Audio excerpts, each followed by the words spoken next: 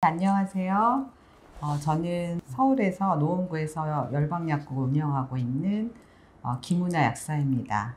2021년에 11월에 열방약국 유방암 상담소를 네, 출판했고요. 얼마 전에는 열방약국 말기암 통합요법 상담소라는 책을 쓴 두 권의 책을 쓴 암 전문 약사입니다. 어, 작가님 이제 이력 보니까 작가님이 이제 암에 걸렸었죠. 네네. 그 이야기가 이번 책에 써 있는 거고. 그렇죠. 그렇죠. 그 네. 과정들이 진짜 완전 완치가 되신 거잖아요. 네, 완전 그렇죠. 이제 5년이 네. 됐습니다. 그래서 이 책을 어 내가 왜 써야겠다 이 생각 어떻게 하셨나요?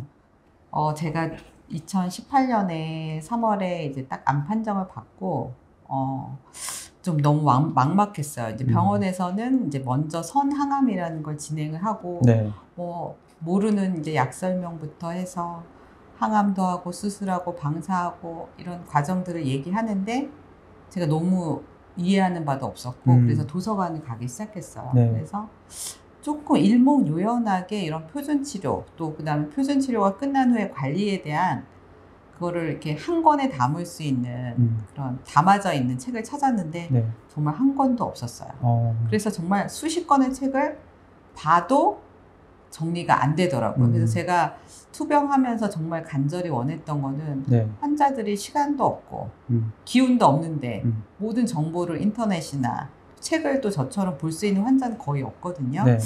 그래서 제가 환자들을 위해 쓰자. 네. 진짜 무슨 유방암 완전 정보 이것처럼 음.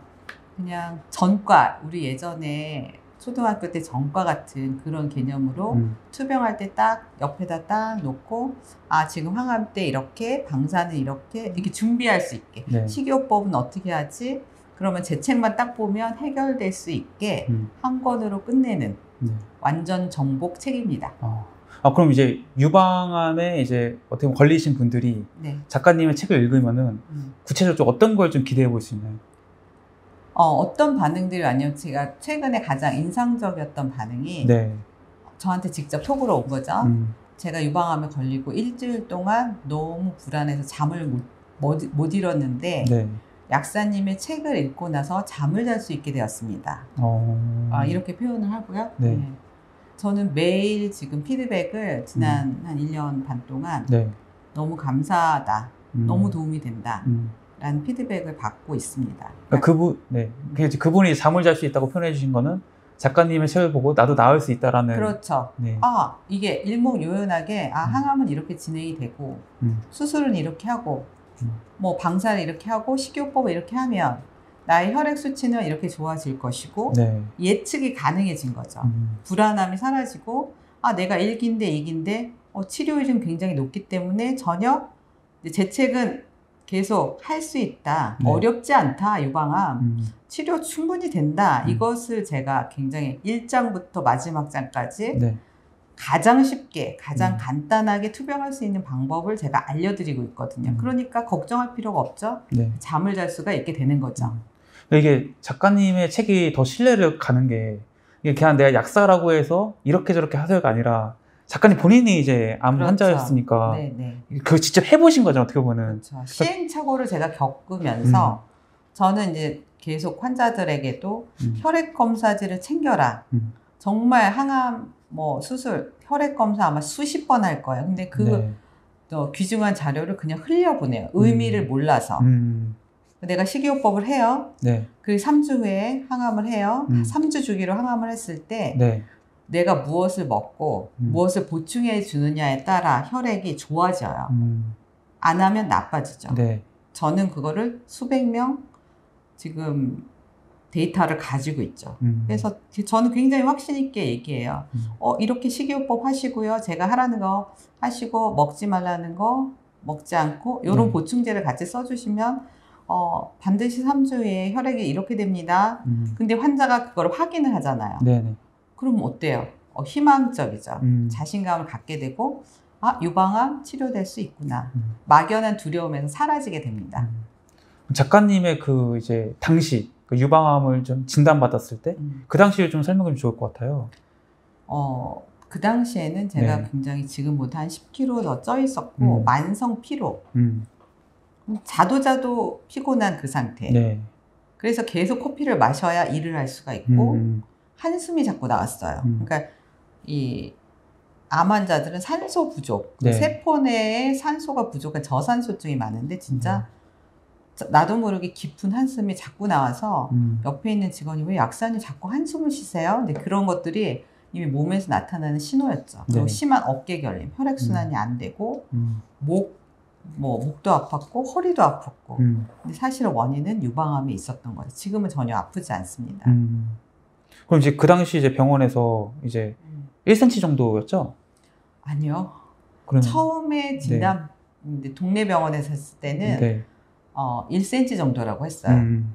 그래서 병원에서는 동네 병원에서는 네. 아 이거는 그냥 부분 절제만 하고 항암하시면 되니까 굉장히 네. 간단합니다. 음. 그러나 그게 간단하지가 않더라고요. 음. 그러니까 종합병원을 가서 다시 초음파를 찍으니까 뭐 2.5라고 했어요. 네. 그런데 다시 CT를 MRI를 찍으니까 2.5에서 또 2.9cm가 또 옆에 있고 어. 전체 그 유방에 네. 모래처럼 흩뿌려 있다 암이 음.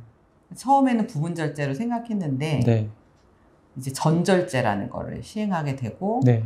전절제 중에서도 이제 유두를 살릴 수 있느냐 없느냐인데 네. 저는 피부 절제를 굉장히 많이 해서 유두를 살릴 수가 없었어요. 음. 그리고 겨드랑이에도 전이가 있었기 때문에 네. 이제 곽청술이라는 걸 시행을 해서 네. 그 림프절을 많이 떼내는 거죠. 음. 그러니까 아마 2기, 3기까지 할 수 있는 표준 치료를 할 수 있는 최대한의 거를 다 당첨이 된 거죠. 어. 그러니까 얼마나 아, 처음엔 당황스럽죠. 음. 좀 무섭고 좀 공포스럽고. 음. 근데 지금은 예, 뭐 부분 절제든 네. 전절제든 어, 유방 부위는 사실은 장기가 아니잖아요. 내부 네. 장기가 아니기 때문에 네. 그리고 요즘은 성형 수술이 아주 음. 예, 발전해 있습니다. 음. 그래서 저는 유두는 없지만 피부를 늘려서 음. 이렇게 보형물을 넣어서 했는데요. 굉장히 만족스럽습니다. 그럼 이제 보통 이제 큰 병에 걸린 사람들 보면은 왜 이런 병이 나한테 걸렸을까 이런 의문을 음. 많이 갖잖아요. 네, 네. 작가님의 경우는 어, 작가님 생각했을 때 있어 이유가 있었나요? 아니면 왜 나한테 이런 일이 생겼지 이런 거였나요? 어, 저의 경우는 그러니까 모든 사람이 암에 걸리는 원인은 수백 수천 가지예요. 네. 그러니까 어떤 한 가지로 단정할 수는 없는데 음. 뭐 유전적인 요소가 이제 한 10에서 15%라고 해요. 그런 네. 거는 그런 브라카 유전자라는 게 있어요. 네. 그 유전자에 변이가 있을 때 오는 음. 것이고 음. 저 같은 경우는 그런 변이는 없었죠. 음. 그렇다면 저는 제 책에도 썼지만 네. 암의 원, 원인을 나에게 오는 암의 원인을 음. 이해하는 것이 치료의 가장 빠른 지름길이라고 생각했기 때문에 네. 저 나름의 원인은 저는 좀 비만 음. 그 다음에 왜냐하면 이 비만 세포는 더 네. 많은 에스트로겐을 분비해요. 음. 제가 해당하는 유방암은 여성 호르몬에 그 반응하는 네. 그 호르몬 양성 유방암이었기 때문에 비만이 좀 치명적이죠. 음. 그 다음에 또 한 가지 꼽자면 식이 습관을 네. 어, 전혀 음식을 특히 야채 섭취가 거의 없었고 음. 그러니까 건강하지 않은 음. 그러니까 염증이 잘 생길 수밖에 없는 음. 그런 식이 습관 탄수화물도 너무 많이 먹었고 음. 그것도 이제 탄수화물도 과다하면 그게 이제 포도당이 너무 과다하면 그게 암의 먹이가 되고 염증으로 가거든요. 네. 뭐든지 지방이던 단백질이던 과다다 음. 하면은 어, 우리 몸에 어, 변이가 일어날 수 있는 환경이 돼요. 어. 제가 그런 환경을 너무 많이 줬고 음. 그리고 이제 환경적인 측면에서도 네, 플라스틱이라든지 그런 뭐 샴푸라든지 네. 그러니까 우리가 항상 쓰는 네. 그런 그런 물질에 대해서 제가 별로 개의치를 않고 그냥 편하고 그냥 싸고 그런 걸 썼던 것 같아요. 음. 지금은 이제 샴푸 하나라도 또 화장품 바르는 것도 저는 굉장히 어, 성분 보고 음. 천연으로 다 바꿨죠. 어. 네. 그런 것들이 네. 특히 여성 호르몬 양성 유방암은 음. 그게 호르 여성 호르몬에 유사한 제노 에스트로겐으로 작용을 해요. 네. 그런 환경 호르몬이 우리 몸에 음. 흡수됐을 때 그렇기 때문에 요즘 유방암이 급증하는 원인도 음. 그런 환경적인 요인에 있거든요. 음.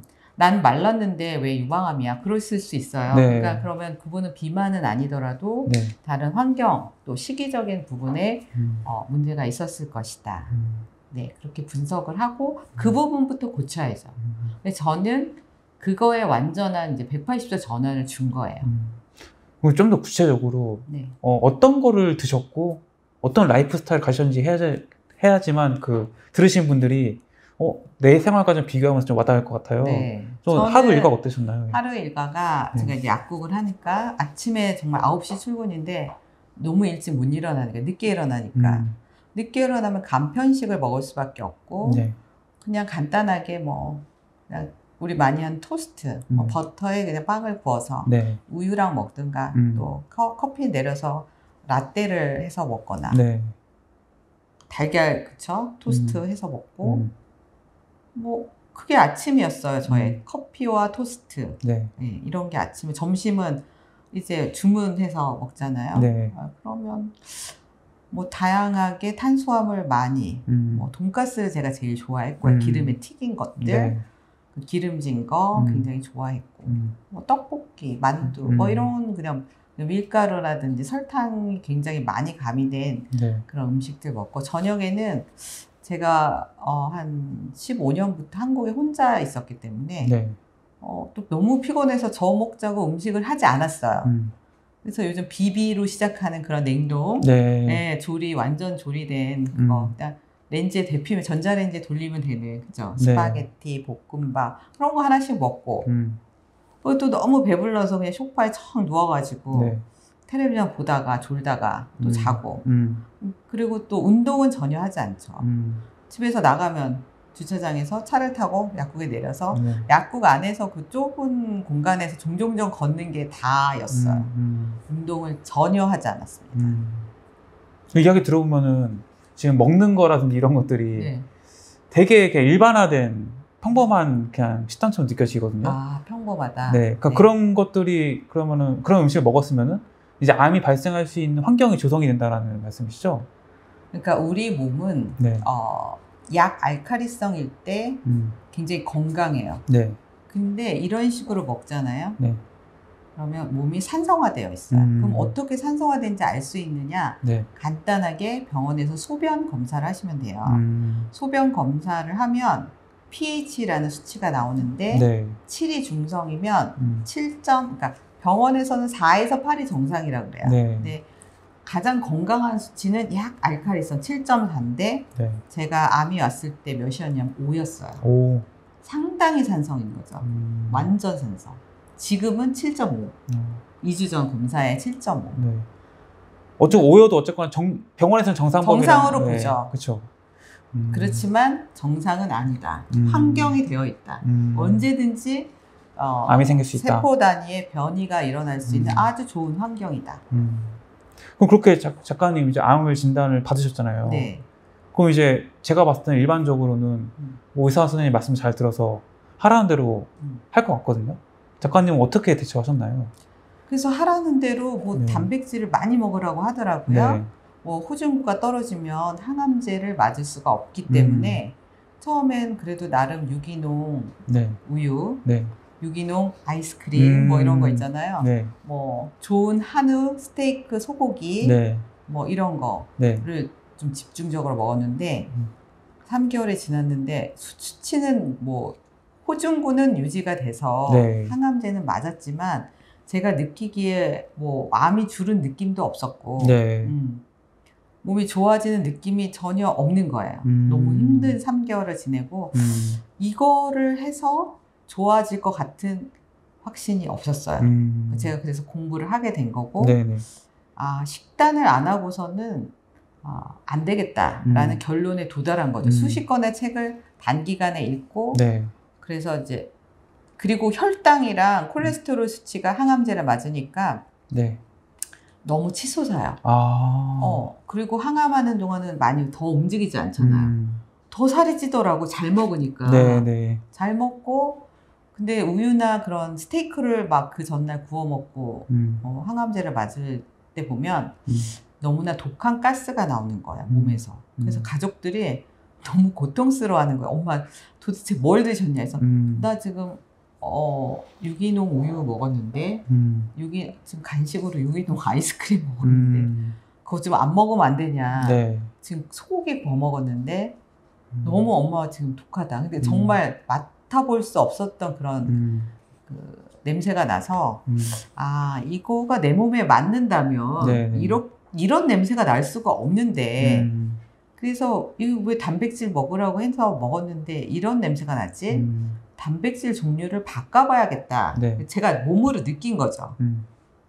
그래서 단백질을 바꿨을 때 이제 제가 전복이라든지 문어라든지 뭐 네. 황태국 음. 이런 걸로 좀 바꾸고 달걀은 달걀 후라이보다는 삶은 달걀로 제가 바꿨을 때 네. 항암 중에 냄새가 안 났어요. 어. 그리고 단백질 수치도 좋았고 음. 호중구도 유지가 됐어요. 음. 그래서 그리고 야채를 제가 아주 많이 했을 땐 10가지 이상을 네. 익히거나 갈아서 음. 4차, 항, 음. 4차를 총, 어, 항암을 제가 8차 했나? 네, 음. 8차 항암 중에 4차부터 식이요법을 했을 음. 때 1, 2, 3차가 전 제일 힘들었고 네. 4차도 항암제를 쓰면 걷지를 못해요. 음. 4차 그러면 항암제는 누적이 돼요. 네, 그래서 네. 항암독이 빠지려면 1년도 걸리고 2년이 걸리거든요. 그럼 4차 항암보다 8차가 더 힘들어야 되잖아요. 네. 식이요법을 야채를 엄청 많이 섭취를 했을 때 음. 8차에서 저는 4차는 정말 할머니처럼 남편이 부축을 해서 네. 정말 정말 천천히 걸어야 되거든요. 음. 30분을. 음. 8차에는 저는 산에 가서 만보 걸었어요. 와. 둘레길을. 어. 그 비결은 뭐냐? 식이요법을 한 거죠. 음. 그러니까 이제 병원에서는 이제 단백질을 많이 섭취하라고 했고 네. 그 작가님은 이제 어떻게 보면 먹던 식단에서 더 좋은 음식들, 더 좋은 음식. 고급 음식들을 네. 먹었던 거죠. 네. 근데 그게 뭐 먹으면 나아져야 되는데 여러 가지 수치나 이런 걸 봤을 때는 네. 오히려 더 나빠지고 있었고 네. 거기에 대해서 굉장히 이제 확신이 없으셨던 거죠. 그쵸. 그래서 이제 4차 항암 때부터 음. 도서관에 가셔서 책을 보고 공부를 하신 거잖아요. 네. 네. 그럼 그 수많은 책들 읽어보니까 네. 좀 결론을 요약하면 결국 뭐 하라는 건가요? 결론은 네. 그러니까 환경을 바꾸라는 거죠. 음. 내 몸의 환경. 네. 아, 제가 좀 전에도 말씀드렸지만 네. 약 알카리성 환경을 빠르게 만들려면 네. 어, 산성 음식을 피해야 되죠. 산성을 일으키는 음. 음. 식이 바로 어, 육류예요. 음. 육류. 음. 네. 그럼 어때요? 피해야죠. 네. 피하고 빠르게 환경을 조성하는 거는 야채에 있는 네. 야채 하나하나에는 그 파이토케미칼이라는 천연 항암 물질이에요. 네. 그래서 저는 그 designer food라는 거를 제 책에 실었거든요. 음. 색깔별 음식, 네. 색깔별 야채를 먹는 거죠. 사과의 빨간색, 음. 오렌지에 오렌지색, 당근 네. 주황색, 네. 가지 보라색. 어. 그죠? 네. 또 무슨 색깔이 있죠? 파프리카에 뭐 노랑, 주황, 빨강이 있죠. 네. 또 양배추의 흰색, 네. 브로콜리의 녹색, 네. 케일의 녹색. 네. 어, 저는 톳도 먹었어요. 마른 오, 톳을 네. 네, 저는 넣어서 먹고 음. 톳도 먹고 그 다음에 뭐 고구마 분말도 먹고 음. 그러니까 색깔을 다 넣었다고 보시면 돼. 음. 저 레몬도 먹었고 네. 레몬 네. 음. 색깔별로 다 그거를 넣어가지고 먹었을 때 몸이 피부가 어, 확 살아나죠. 음. 그럼 이제 그렇게 어떻게 보면 시기를 하시고 이제 병원에 계속 다니신 거잖아요. 네. 그 의사분들이 이제 이 수치를 보고서 또 해 한 말씀이 있을 거 아니에요. 어, 의사 선생님은 그럴 시간이 없으세요. 아. 1분, 1분도 안 보죠. 음. 그러니까 의사 선생님은 그냥 이분이 지금 음, 항암제를 맞을 수 있는 수치인가만 확인하시지 네네. 다른 수치는 볼 시간도 없고 보려고 하시지 않으세요. 음. 아, 의사 선생님이 지금 막 지금 대기하는 환자들이 네. 지금 한 시간 기다려서 선생님 1분 보는 거잖아요. 음. 선생님한테 물으셔도 안 돼요. 네. 선생님을 그런데 이제 낭비해서도 안 되고 음. 선생님은 항암 스케줄 짜주시고 우리를 위해서 수술도 해주시고 네. 방사 스케줄 하- 이거 하기도 바쁘신 분이에요. 음. 그러니까 시기는 본인이 해야 되고 네. 혈액 검사 그거 검사지 받아서 내 수치 변화는 내가 관리해야 되는 거예요. 음. 그래서 제가 제 책에 그걸 어떻게 하는지 자세히 써놓은 거죠. 선생님은 딱 호중구만 보십니다. 다른 수치는 거의 안 보시고 어, 호중구 맞, 항암 맞을 수 있는 네. 수치다. 아주 낮지만 않으면 네. 고 오케이 오늘 잘 맞으세요. 아주 좋네요. 그래서 음. 환자들은 정말 자기 수치가 너무 좋다고 생각을 하는 거예요. 음. 제가 혈액 검사지 좀 봅시다. 그러면 네. 선생님이 다 좋다고 했는데요. 아 좋은 범위가 굉장히 넓다. 아까 제가 pH 얘기했지만 4에서 음. 8인데 음. 좋은 거는 7.4라고 그랬죠. 네네. 백혈구도 4에서 10이에요. 음. 좋은 거는 5에서 6. 근데 항암을 하면은 4가 아니고 3, 2, 음. 1 이렇게 떨어져요.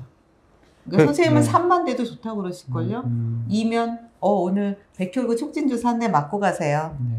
이, 이 정도밖에 언급 안 하세요. 어. 그러니까 이게 뭐 암에 걸려서 암 치료 과정에서 음. 몸에 좋은지를 보는 게 아니고 항암제에 그렇죠. 맞기 좋은지를 판단하시는 아, 거군요. 그렇죠. 네, 그거 포인트죠. 네. 음. 그러니까 여러분 착각하면 안 돼요. 아, 항암제를 맞, 맞을 수 있는 몸이 건강한 몸이라는 아니죠. 걸 표현하는 건 절대 아니다. 음, 음. 근데 대부분의 환자들은 아 내가 몸이 좋아지고 있구나라고 잘못 알아듣는 거죠 어떻게 보면. 그쵸. 아, 나 지금 되게 좋구나. 항암제를 음. 맞을 수 있으면 좋은 거다. 네. 아, 라고 생각하는데, 음. 그거는 잘못된 생각. 그래서 이제 책에서 이제 전체적인 암 치료 과정을 알아야 된다고. 그렇죠. 음.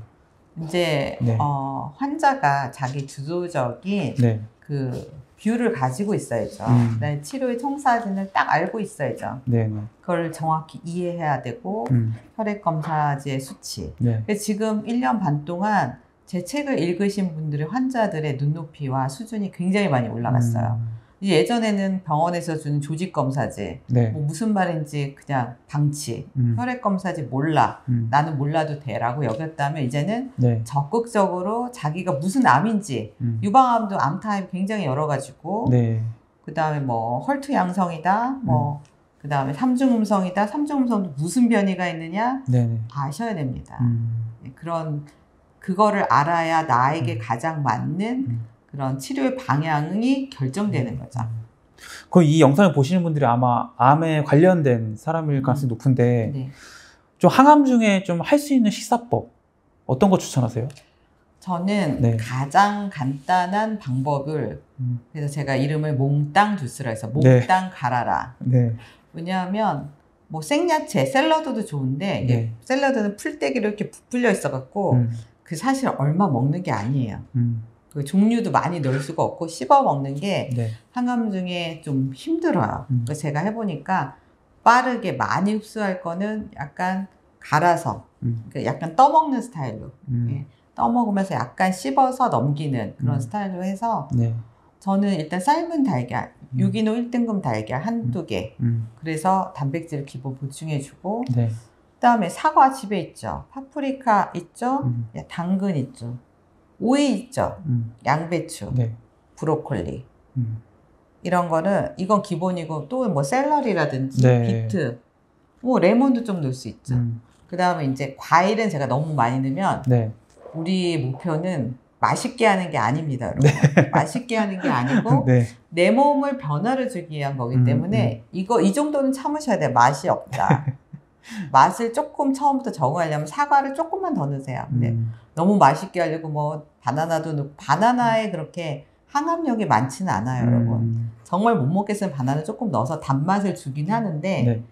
뭐 이렇게 하면 기본이 되잖아요. 음. 이거를 정말 항암 중에는 생야채가 힘들어요. 네. 그럴 때는 다 살짝 쪄요. 음. 너무 푹 끓이지 말고 살짝 찐 거를 갖다가 좋은 믹서기는 하나는 정말 제가 요리를 많이 안 하지만 네. 믹서기는 매일 쓰는 거예요. 음. 좋은 고성능 믹서기를 써야 물 없이 싹 갈려요. 30초 내에. 네. 물까지 넣으면 양이 너무 많아지니까 싹 갈아서 매일 하는 것도 아니고 저는 3일, 3일 한 번 갈아서 3일을 써요. 네. 유리 용기에 넣어서 냉장고에 넣어놓고 음.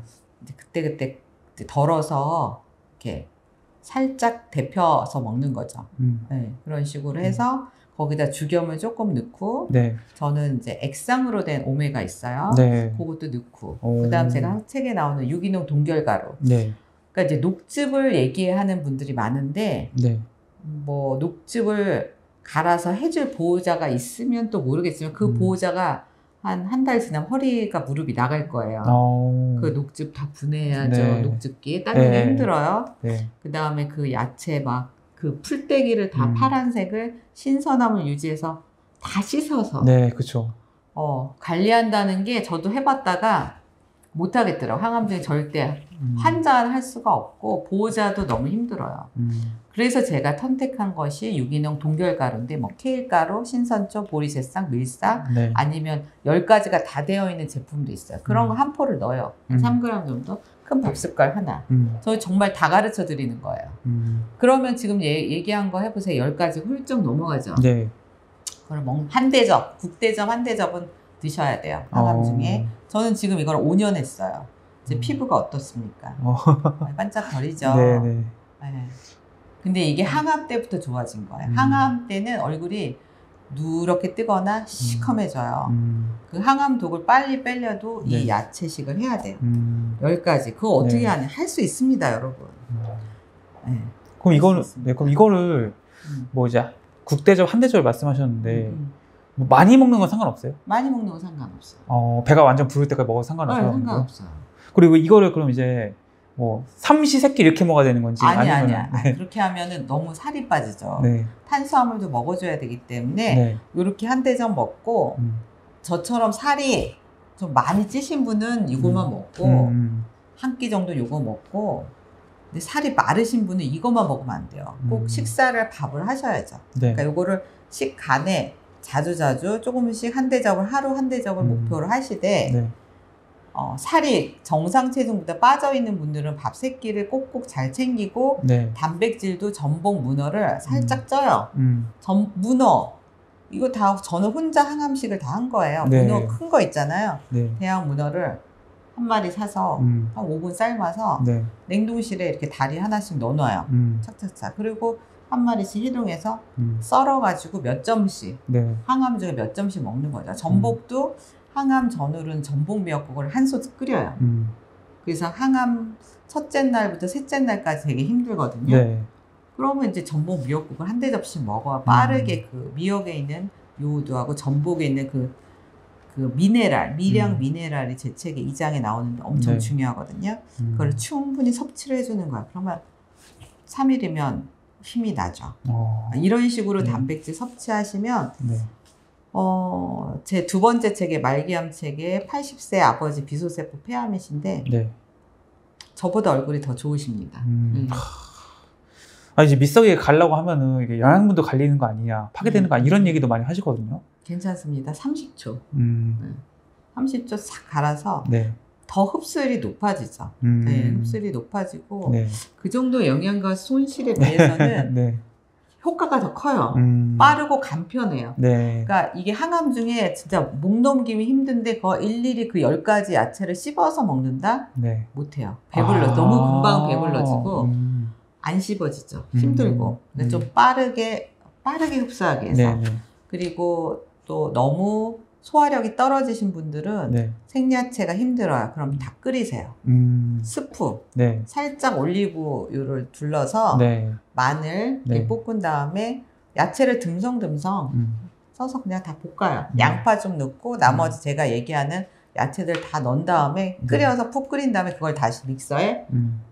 갈아버리세요. 음. 그래서 그거를 스프처럼 드시는 거예요. 음. 특히 이제 3기, 4기 네. 체중이 많이 빠지신 분들은 흡수율이 그러니까 그 위가 흡수율이 떨어지는 항암제가 있거든요. 음. 그럴 때는 따뜻하게 무조건 따뜻하게 그리고 음. 조금 위장에 힘이 생긴다 그러면 조금씩 이렇게 생야채 양을 본인의 그 위장 상태, 체력 상태에 따라 조절하시면 돼요. 음. 색깔에 대해서도 이게 네. 색깔을 의도적으로 내가 꼭 맞추는 게 중요한 건지 아니면은 그거 상관없이 그냥 내 야채를 좀 먹으면 되는 건지 음. 어떻게 생각하세요, 그건? 어, 색깔을 뭐 다양하게 하는 게 제일 좋고요. 네네. 다양하게 안 하더라도 음. 그 녹색의 비율을 저는 그 동결 가루로 맞추는 거죠. 음. 그러니까 녹색 야채는 사놓으면 금방 물러져요. 네네. 그러니까 신선할 때 먹어야 되는데 음. 또 유기농 사기도 관리하기 힘들고 하기 음. 때문에 유기농 동결 가루 한 포 정도면 네. 굉장히 많은 양의 녹색은 섭취가 돼요. 음. 그러니까 나머지는 녹색이 좀 핵심이라고 보시면 돼요. 녹색에 어, 있는 네. 예, 그 칼륨 성분이 네. 굉장히 중요하고 음. 어, 그것이 암의 전이와 전이와 성장을 억제하는 역할이 굉장히 강한 논문이 많거든요. 네네. 그래서 그 녹색을 채워주시는 걸 기본으로 나머지 색깔 채워주면 더 좋죠. 어. 네. 그러니까 오이나 브로콜리 이런 거. 네, 그런 그렇죠. 것도 좋고. 네. 뭐 다른 또 빨간색 뭐 사과도 음. 좋고. 음. 그러니까 모든 야채와 과일의 껍질 부분에 음. 굉장히 항암력이 강해요. 음. 그러니까 저도 예전에는 사과를 껍질을 다 깎아버렸는데 요즘은 네. 무조건 껍질째. 어. 껍질째 먹고 복숭아도 네. 저는 껍질째. 어. 네. 웬만하면 껍질째 다 먹고. 네. 그러니까 조, 그 하루에 한 10가지 이상의 음. 야채를 꼭 섭취한다를 목표로 하세요. 음. 그 이제 책에서 이제 마늘이 이제 천연 항생제다. 음. 이 마늘의 효과는 얼마나 큰 건가요?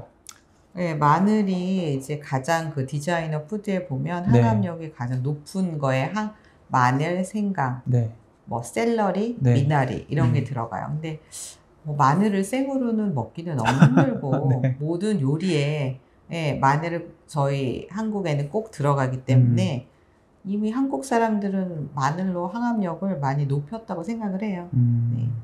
그 정도. 어, 네. 그 이제 암이 암이 영양소 결핍에서 온다고 하셨어요. 네. 근데 이제 제가 생각했을 때는 아까 말씀하셨을 때 커피 네. 빵 드시고 뭐 배달 음식이지만 뭐 밥 챙겨 드시 다 하셨잖아요. 네, 네. 이 영양소 결핍과는 별로 상관없어 보이긴 하거든요. 아, 그거는 이제 네. 칼로리를 채워준 거죠. 음. 칼로리. 음. 우리가 움직일 수 열량을 채워준 거지 네. 영양소가 채워진 건 아니에요. 그러니까 음. 영양소는 네. 여러분이 안에 비타민 C, 네. 뭐 B 음. 이것만 생각하시죠. 비타민만 생각하는데 제가 이제 중점을 두는 거는 미네랄입니다. 어. 미네랄 대표적으로 이제 분자량이 큰 거, 네. 큰 성분은 이제 칼슘, 음. 마그네슘, 음. 유황 네. 이런 것들이 좀 성분이 큰 거고요. 네. 그 다음에 미량 미네랄인 게 있어요. 네. 여러분 잘 모르는 아연, 음. 뭐 셀레늄, 음. 뭐 요오드, 음. 망간, 음. 몰리브덴 이런 거 잘 못 들어보셨죠? 네. 근데 이런 것들이 하나가 굉장히 조금 필요한데 이런 미량 미네랄이 많이 들어있는 게 이제 그 토양 속에 많이 들어있어요. 음. 근데 새- 채소를 보면 네. 채소 속에 이런 미량 미네랄 들어있는 거예요. 네. 근데 이제 요즘 채소는 비료를 많이 쓴 그쵸. 채소를 먹으면 네. 이 미, 미네랄 함량이 한 4, 50년 전보다 네. 굉장히 사과라든지 과일에도 많이 떨어져 있어요. 아.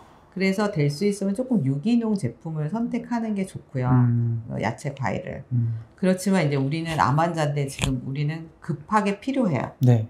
정상인들은 일반 식단으로는 미네랄이 필요한데 음. 채워진다고 보는데 네. 환자들은 그래서 보충제를 써야 되는 거예요. 음. 그렇지만 보충제 선택도 천연에 가까운 보충제를 네. 흡수 천연에 가깝되 흡수율을 높인 음. 그런 공법을 사용한 그런 음. 특별한 보충제를 썼을 때 네. 우리 몸에 그 신진 대사의 그 조효소로 코팩터로 이런 미량 미네랄이 사용돼요. 음. 그래서 제가 실제적으로 식이요법을 하고 네. 시- 음, 그런 보충제 요법을 했을 때 제 몸이 달라지는 거죠. 예전에는 어. 열량을 채워주는 식단을 했을 때는 음. 왜 먹어도 먹어도 배고픈 거 있잖아요. 네. 그러니까 먹는 게 에너지로 안 가는 거죠. 음. 다 비만한 세포로만 가고 그 에너지로 안 가고 피로감이 해결이 안 됐어요. 네.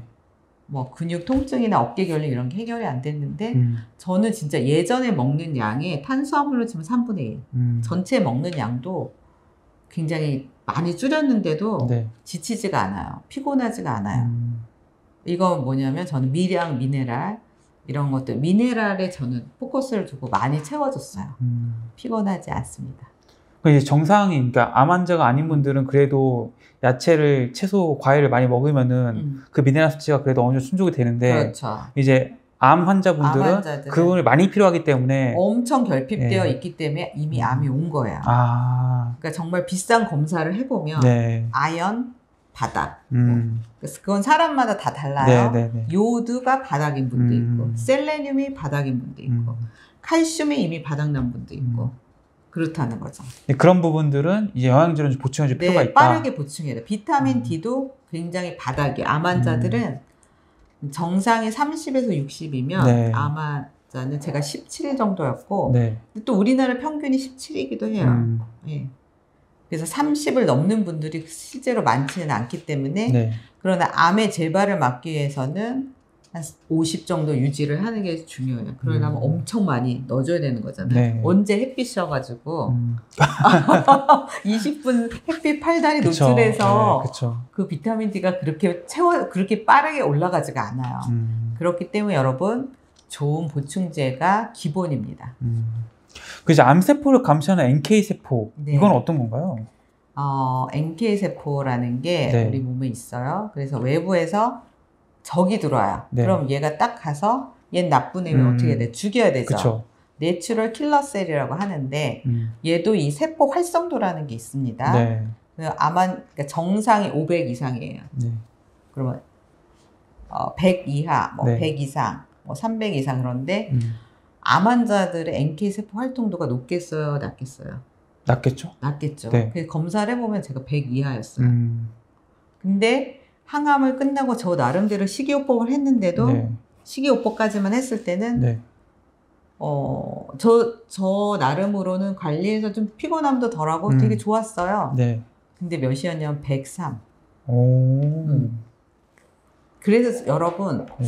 식이요법, 뭐 자연치유도 좋은데 음, 회복이 너무 더딘 거예요. 음. 어, 그러면 이 NK세포 100에서 500을 올리려면 한참 걸리겠네요. 한참 좋은 네. 걸 많이 오래 먹어야 그쵸? 되는데 네. 시간이 걸리죠. 네. 이 시간은 저는 3개월 만에 500이 됐거든요. 와. 베타글루칸 내지 몇 가지의 보충제를 좋은 보충제 여러분 음, 제가 정말 간곡히 당부드리는 건 뭐 직구 제품 인터넷에서 네. 검증되지 않은 음. 많은 건강 기능 식품들은 네. 정상인은 괜찮아요. 음, 뭐 먹어도 그 해독 능력도 있고 음, 딱히 나쁘지 않은 성분이지만 음, 그것이 그 흡수율과 활성도에 따라 달라요. 그러면 음. 암 환자는 나의 돈과 그죠 시간과 그쵸. 아 이거를 정확하게 해야 돼요. 지금 음, 음. 뭐 정상인과 똑같은 속도로 느리게 갈 수가 없는 네. 긴급한 상황일 때는 네. 어, 약국에서 음. 전문 암, 암을 다룰 수 있는 암 약사님과 보충제 상담을 하시고 정확한 약을 약국에서 구입을 하셔야 돼요. 음, 그거를 여러분들이 보통 이제 하시는 분들 저한테 상담 오시면 막 표를 짜가지고 아침, 점심, 저녁 20가지를 먹더라고요. 아, 직구 제품. 네. 어, 직구 제품이 싸죠, 여러분. 네. 네. 암 환자는 그렇게 하시면 안 돼. 그래서 제가 혈액 검사지를 봅시다. 음, 그럼 제가 맨날 백혈구, 뭐 적혈구, 해모글로빈 여러 수치가 음. 그러면 이렇게 20개 많이 먹었으면 좋은 제품은 어때요? 효과가 딱 좋아- 나타나야죠. 그쵸, 그쵸, 그쵸. 네, 저한테 상담받는 분들은 한 달 내에 본인도 딱 느끼지만 혈액 검사지에서 음, 나타나요. 음, 그런 자 뭐 이렇게 한 1년 먹었는데 아직도 백혈구 3, 뭐 2.5 네. 이렇게 돼 있어요. 네. 뭐 호중구 림프구 그러니까 L하고 high 음, 높은 수치, 높으면 안 되는 수치 높아져 있고 네. low 수치가 뜨면은 이 약들은 어때요? 효과가 있는 거예요, 없는 거예요? 없는 거죠. 그럼. 그러면 돈 낭비했고 시간 낭비한 그쵸. 거예요. 네. 갖다 버려야 돼요. 음, 그런 분들이 정말 너무 많으세요. 그러니까 나름 조금 이제 건강에 대해서 네. 막 공부도 하시고 예. 얼마나 인터넷 자료를 네. 많이 봤는지 네. 막 본인이 쫙 짰어요. 뭐 코인자임 네. 좋아서 뭐 밀피스 뭐 해가지고 막 빽빽하게 20가지는 만들어냈지만 효과가 전혀 없는 거 어, 진짜로 음. 농담이 아니에요 여러분 음, 특히 이제 일기인 분들이 이제 가볍게 본인의 일기를 생각하고 이렇게 본인이 이렇게 스케줄을 짜는데 네. 이렇게 짜도 4기가 돼요. 음, 1년 반 2년 후에. 음, 식이요법부터 안 하고. 음, 뭐가 지금 내가 긴급한 우선순위라는 게 있어요. 우리가 20개, 100개를 먹을 수가 없습니다. 네, 네. 돈도 그렇고 시간도 그렇고. 음, 우리 몸에서 받아들이는 것도 그렇기 때문에 그거에 내 지금 혈액 검사지를 체크하면서 우선순위를 가늠해 줄 수 있는 사람은 여러분이 아니에요. 여러분 전문가가 아니에요. 내 몸에 그쵸 아마추어가 실험을 하면 돼야 안 돼요? 안 되죠. 어, 정상인이면 조금 실험을 해도 실패는 괜찮은데 네. 우리 암 환자는 그런 실험을 하시면 안 됩니다. 음, 그래서 제가 책을 쓴 거예요. 음, 여러분들의 그 시행착오를 줄여야 돼. 지금은 내 몸에 시행착오를 하면 돼요? 안 되죠. 굉장히 위험한 거예요. 그쵸. 다른 거는 조금 뭐 좀 더디 가도 되는데 이거는 생명하고 관련된 일이기 때문에 네. 어, 여러분들이 이때는 지혜를 발, 발현을 하셔야 돼요. 아 그러면 이제 상담을 이제 오시는 분들이 음. 아저 이렇게 먹고 있습니다. 음. 뭐 영양제도 갖고 오고 음. 할거 아니에요. 작가님이 보시고 얼마나 심각해요. 많이 심각하죠. 그러니까 음. 대부분은 네. 어, 식이요법을 안 하고 계신 분이 많아요. 어. 음, 그러니까 음. 그냥 이 정도 왜 왜냐하면 병원에서는 네. 어, 영양 선생님이 이제 딱 붙어서 처음에 이제 식단을 하는데 다 제한이 없어요. 네. 단백질 신경 써 주세요. 뭐든지 음. 먹을 수 있으면 다 드세요. 라고 가이드를 하시기 때문에 음. 제가 이제 유방암 카페 회원수 많은데도 이렇게 들어가 보면 네. 어, 우리 항암 중에는 네. 허락한 시간이다. 음. 뭐든지 먹을 수 있는 시간이라고 착각을 하시더라고요. 어. 여러분 정말 그럴까요? 항암 중에 다 먹어도 되나요? 그냥 항암제를 막기 위해서는 음. 선생님들이 잘 드세요. 이렇게 얘기해요. 선생님들이 시간이 없잖아요. 네. 뭔 먹어도 되고 먹지 말아야 되라고 그걸 아. 가이드할 시간이 없어요. 음. 그래서 환자분들 어떻게 이해해야 되냐면 아 뭐든지 잘 먹으라고 했다. 음. 그래서 제가 뭐 댓글로 뭐 이렇게 남기잖아요. 뭐 우유나 뭐 고기, 육류, 네. 붉은색은 어, 드시면 안 됩니다. 그러면 꼭 이런 어 우리 선생님이 먹으라고 했는데 댓글단 너는 누구냐? 음. 너는 누구냐? 음. 너가 뭔데? 그쵸, 그래서 예. 제가 좀 열받았어요. 그래서 네. 책을 썼습니다. 여러분. 어. 어, 너무 잘못된 생각을 가지고 계신 분들이 음. 많아요. 근데 제가 환자였기 때문에 네. 어, 도와드리고 싶었어요. 근데 좀책 쓰는 작업은 정말 어렵거든요. 어렵죠. 시간은 엉덩이 너무 많이 붙이고 앉아 있어야 되는데, 어, 근데 많은 환자들이 제 책을 읽으시면 네. 저의 진정성을 음. 이렇게 알아주시더라고요. 그렇게 또 따라 하신 분들은 실행을 하시면 여러분 알게 돼요. 음. 그러니까 딱 진단을 받으시고 저 책을 딱 놓고 그냥 따라 해보세요. 음. 그러면 아니, 지금 암 환자가 아니어도 제 요법은 정말 해독 요법으로 너무 탁월합니다. 음. 저희 딸들도 뭐 맨날 밖에서 뭐, 뭐 돈가스에 뭐 네. 뭐죠 요즘 굉장히 매운 그 마라. 아니. 마라탕 예 그런 게 다 진짜 저 중국에 오래 살았지만 네. 전 먹지도 않아요. 어. 그 국물들이 정말 자극적이죠. 예, 음. MSM 많이 들어간 국물들 그런 거 음. 먹으면 얼굴에 완전히 여드름 날 시기가 아닌데 얼굴에 뭐 염증이 계속 나는 거예요. 음. 이제 먹게 하면 가르 진정이 되죠. 음. 얼굴이 싹 염증이 들어가. 근데 보이는 염증만 염증이 아니에요, 여러분. 암이 음. 왔다는 거는 우리 몸 전체가 염증 덩어리다. 음. 염증 이꼴 암 이렇게 기억하시면 좀 쉬우실 것 같아요. 그러니까 음. 내 몸에 뭐를 넣을 때는 염증을 안 일으키는 네. 그런 음식들을 넣어줘야 돼. 특히 누구 암 환자들은. 근데 음. 항암 때 선생님이 다 먹으라고 했다고. 와 신난다. 뭐 초콜릿도 먹고 과자도 먹고 뭐 고기도 먹고 네. 우유도 막 먹고 음. 라떼도 먹고 네. 그러면은 염증이 안 가라앉아요. 음. 그러니까 항암제가 다 해결할 수가 없어요, 여러분. 아, 그 작가님도 그 이제 항암 진, 네, 암 진단을 받기 전에 음. 이제 뭐 커피도 좋아하셨고 네. 여러 가지 음식 많이 좋아하셨잖아요. 네. 아, 근데 내가 이제 암에 걸렸어요. 음. 아, 그래서 공부도 해보니까 이제 시기를 딱 해야 돼 보니까. 음. 근데 그 결심하고 딱 그렇게 됐어요, 바로. 어, 저는 네. 살려고요.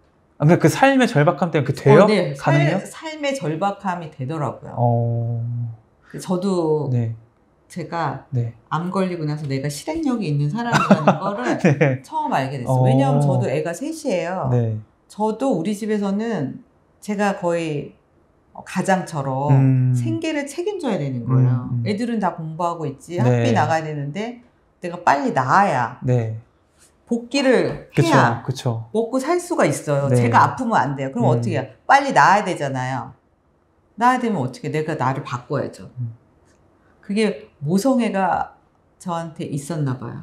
아, 그 아버지도 이제 말기암이고 똑같은 처방하신 거잖아요. 그렇죠. 아버지께서도 그럼 그 딱 한 번에 그 주셨나요? 저희 아버지는 네. 정말 흡연을 네. 80세인데 한 60년 하셨어요. 음, 어, 저희 아버지도 다 드셨죠. 근데 네. 그래서 제가 강수를 뒀어요. 음, 딱 4기 폐암이라고 딱 나오는데 음. 저희 아빠 혀가 새카맸어요. 그러니까 어, 네. 혀를 딱 보는데 아, 이 혀로는 그 한방적으로도 혀의 건강 상태가 나타나지만 아, 네, 까만 혀는 본 적도 없어. 이거는 음. 짧으면 3개월, 네, 어, 길면 1년. 음, 그 정도밖에 여명이 없는 상태죠. 왜냐하면 머리 뒤에 정말 정말 조그만 뻐드락 있죠. 여드름 같은 게 뭐 4월 초에 생겼는데 작년에 네. 한달 사이에 얼마나 해졌는지 알아요? 골프공 아, 머리 뒤에 네. 그러면 이게 얼마나 전이 암이 머리 뒤에 생겼는데 네. 그 정도 속도면은 지금 전신에 그쵸. 손도 쓸 수 없는 거예요. 음. 그래서 저가 초강수를 줬어요. 그러니까 아버지 어, 사기 폐암인데 네. 아버지 살 건지 죽을 건지 지금 결, 결정을 하라고. 음. 아버지가 산다고 딱 결심하면 사는 거고 네. 아 나는 안 되겠다. 음. 포기하면 죽는 거고. 음. 그 아버지 어떤 어떤 걸 한번 선택해 보시겠어요? 이렇게 물었어요. 네. 그랬더니 이렇게 피식 웃으시더라고요. 그러면 아빠 웃는 거 보니까 사는 걸 결정하신 거죠? 음. 그럼 엄마한테 제가 이제 웃으면서 아 그럼 엄마 우리 아빠 15년 더 살기로 우리가 음. 이- 말합시다. 결정합시다. 그랬더니 아이 80세 15년 사는 거는 폐암인데 사기인데 네. 네. 그건 조금 너무하다. 10년만 더 네. 살지. 네. 이제 이러면서 우리가 웃으면서 음. 10년을 막 얘기해. 그럼 10년만 아빠 더 사는 거예요? 그랬더니 음. 나중에 이제 여동생한테 10년도 조금 아빠는 자신이 없었는지 음. 아, 7년을 더 살겠다. 음. 그러고 끊으셨어요, 여러분. 어. 그리고 딱 정말 본인이 폐암 판정을 받기 전에는 선생을 만나러 간 직전에 없어진 거예요, 병원에서. 네. 뒷산을 올라가서 네. 대기하는 시간 올라가서 아. 담배를 피고 오신 거예요. 그래서 우리가 어. 아, 진짜 아빠는 정말 어떡하냐. 네. 암인데 본인이 우리는 말은 못 하고 있었지만 암인데 음. 본인은 심각성을 못 느끼고 저렇게 담배를 피고 오시니까 네. 그때 이제 곧바로 바로 선생님 입원 조치를 하시더라고 요. 음. 바로 이제 이 입원해서 검사를 하니까 담배를 못 피는데 집에 와서 혹시 아빠가 편의점에 가서 몰래 네. 사가지고 뒷동산에 가서 피면 어떨까 네. 너무 걱정을 했는데 그때부터 이제 저의 딱 도전적인 말을 듣고 살기를 어. 결단하시고 끊으셨어요. 음. 그리고 식습관도 정말 제가 하는 것보다 더 타이트하게 음. 하셨어요. 음. 그랬더니 네. 살아나셨습니다. 아, 이게 이제 보통 사람들은 이런 식단의 그 변화를 준다는 게 굉장히 어렵잖아요, 사실은. 네. 잘안 되고. 그, 뭐, 의지력이 부족해서 그럴 수 있지만. 근데 이제 상담을 오시는 그 많은 이제 암 환자분들, 음. 작가님이 식단 딱 하세요 하면은 대부분 다 그걸 해내나요? 아니면은 못 하나요? 그러니까 어때요? 제가 정신 교육부터 시킵니다. 음, 일단 제 책을 읽지 않으신 분들은 네. 이 책에 있는 내용을 저는 거의 다 알아야 된다고 생각해요. 음, 환자가 그거를 저도 계속 환자한테 얘기하면서 저를 세뇌하는 거예요. 음. 저 커피 되게 좋아하거든요. 네. 특히 라떼를 너무 좋아해서 지금은 가끔 이제 밖에 나가면 이제 약간 상처럼 나한테 하나 네. 한 잔을 주는데 네. 밤에 후회를 해요. 음, 왜냐하면 벌써 또 가스가 달라지고 음. 가스가 차고 잠을 못 자요. 그러니까 음, 환자는 암 환자는 잠이 기본인데 잠을 또 설치면 또 그 다음 날의 컨디션에 그쵸. 영향을 미치거든요. 그래서 저도 저를 세뇌하고 음, 교육하는 수밖에 없어요. 교육의 힘이 굉장히 중요하기 때문에 상담을 오신 분 책을 꼭 읽고 오시도록 음, 읽고 오시고 그러면 이제 일단 읽고 나서 이제 또 질문이 생기는 거잖아요. 네. 질문을 답하기도 시간이 오래 소요되잖아요. 음. 그래서 저는 어, 식이요법을 안 하겠다 하면은 거의 상담 진행을 못 해요. 아, 왜냐하면 제가 해보니까 아무리 좋은 약도 네. 음. 이 식이요법을 안 하면 제가 어, 왜 케어하는 환자들이 치료율이 높으냐면 네. 작년에도 두경부암 4기, 지금 비소세포 폐암 4기 음, 너무 드라마틱하게 좋아졌어요. 이분들이 네. 저한테 케어받은 지 아직 1년이 안 됐어요. 음, 백혈구 수치가 6.5예요. 음. 여러분들 지금 유방암 환자들 이 또 자기 그 암이거나 아니면 그냥 일반인들도 한번 백혈구 수치 한번 건강검진 체크해 보세요. 음, 6.5 거의 없으실 거예요. 음, 내가 좀 뭔가 컨디션이 안 좋다 이러니 6.5가 될 수가 없는데 네. 작년 내내 항암하셨던 분이 지금 1월이잖아요.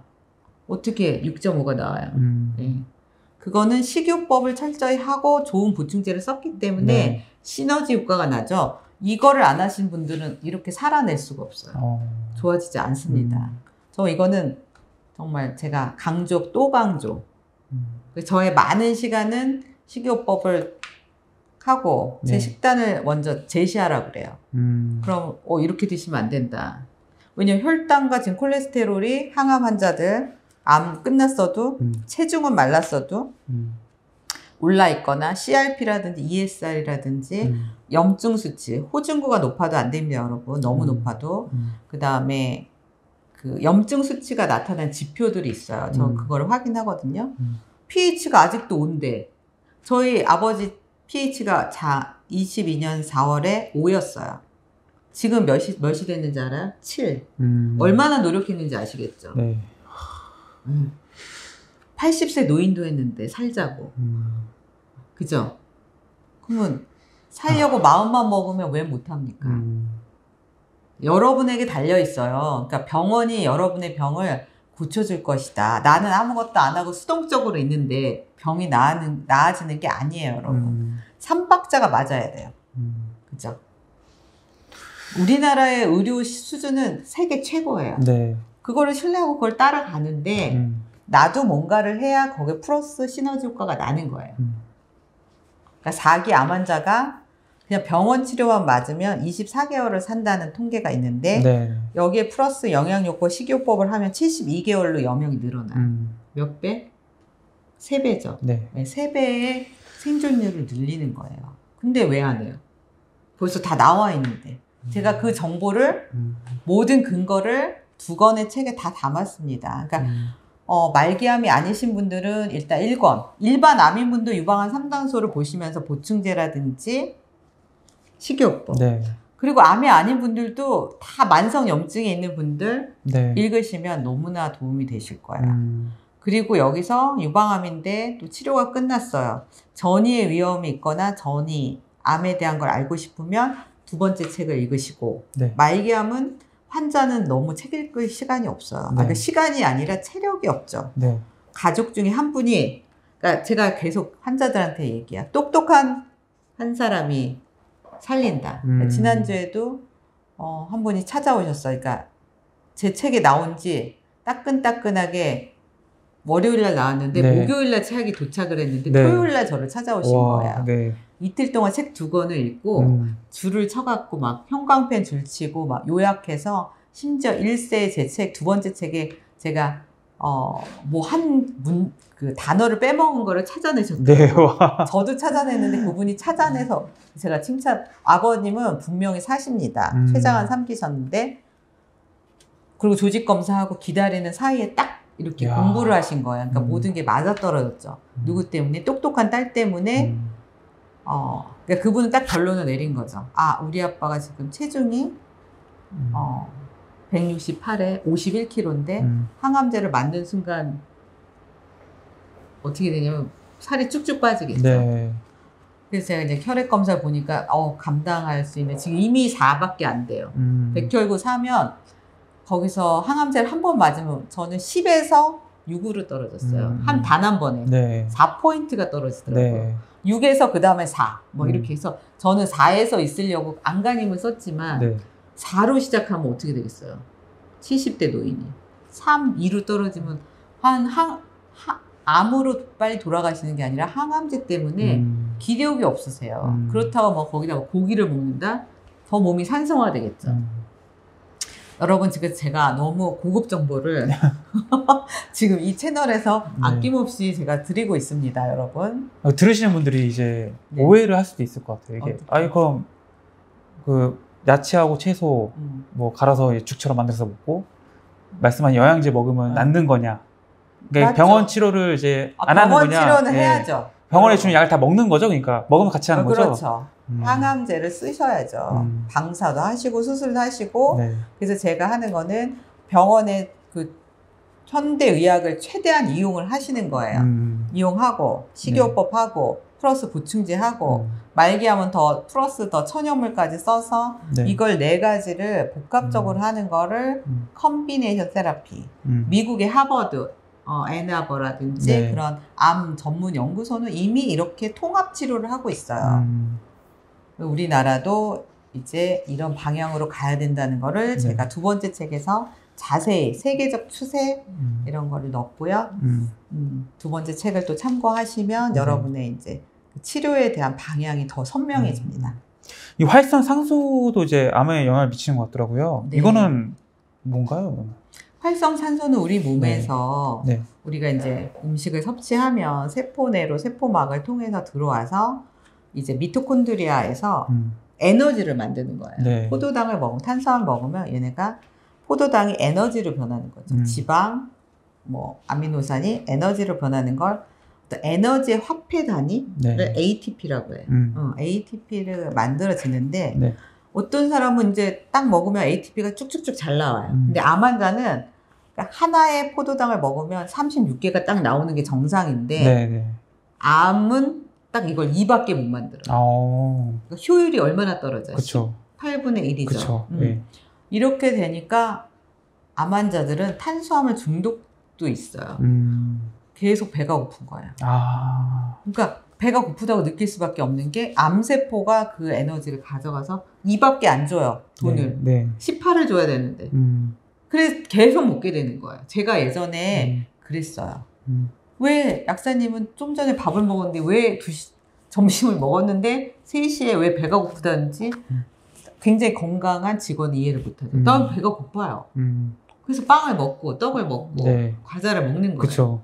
그럼 또 이게 과잉의 예, 탄수화물 되는 거죠. 또 살찌고 아. 그 에너지는 못 만들어. 그러니까 내 대사가 딱 어디로 와야 되냐면 음. 36을 가야 되는데 2로만 자꾸 빠지는 거예요. 음.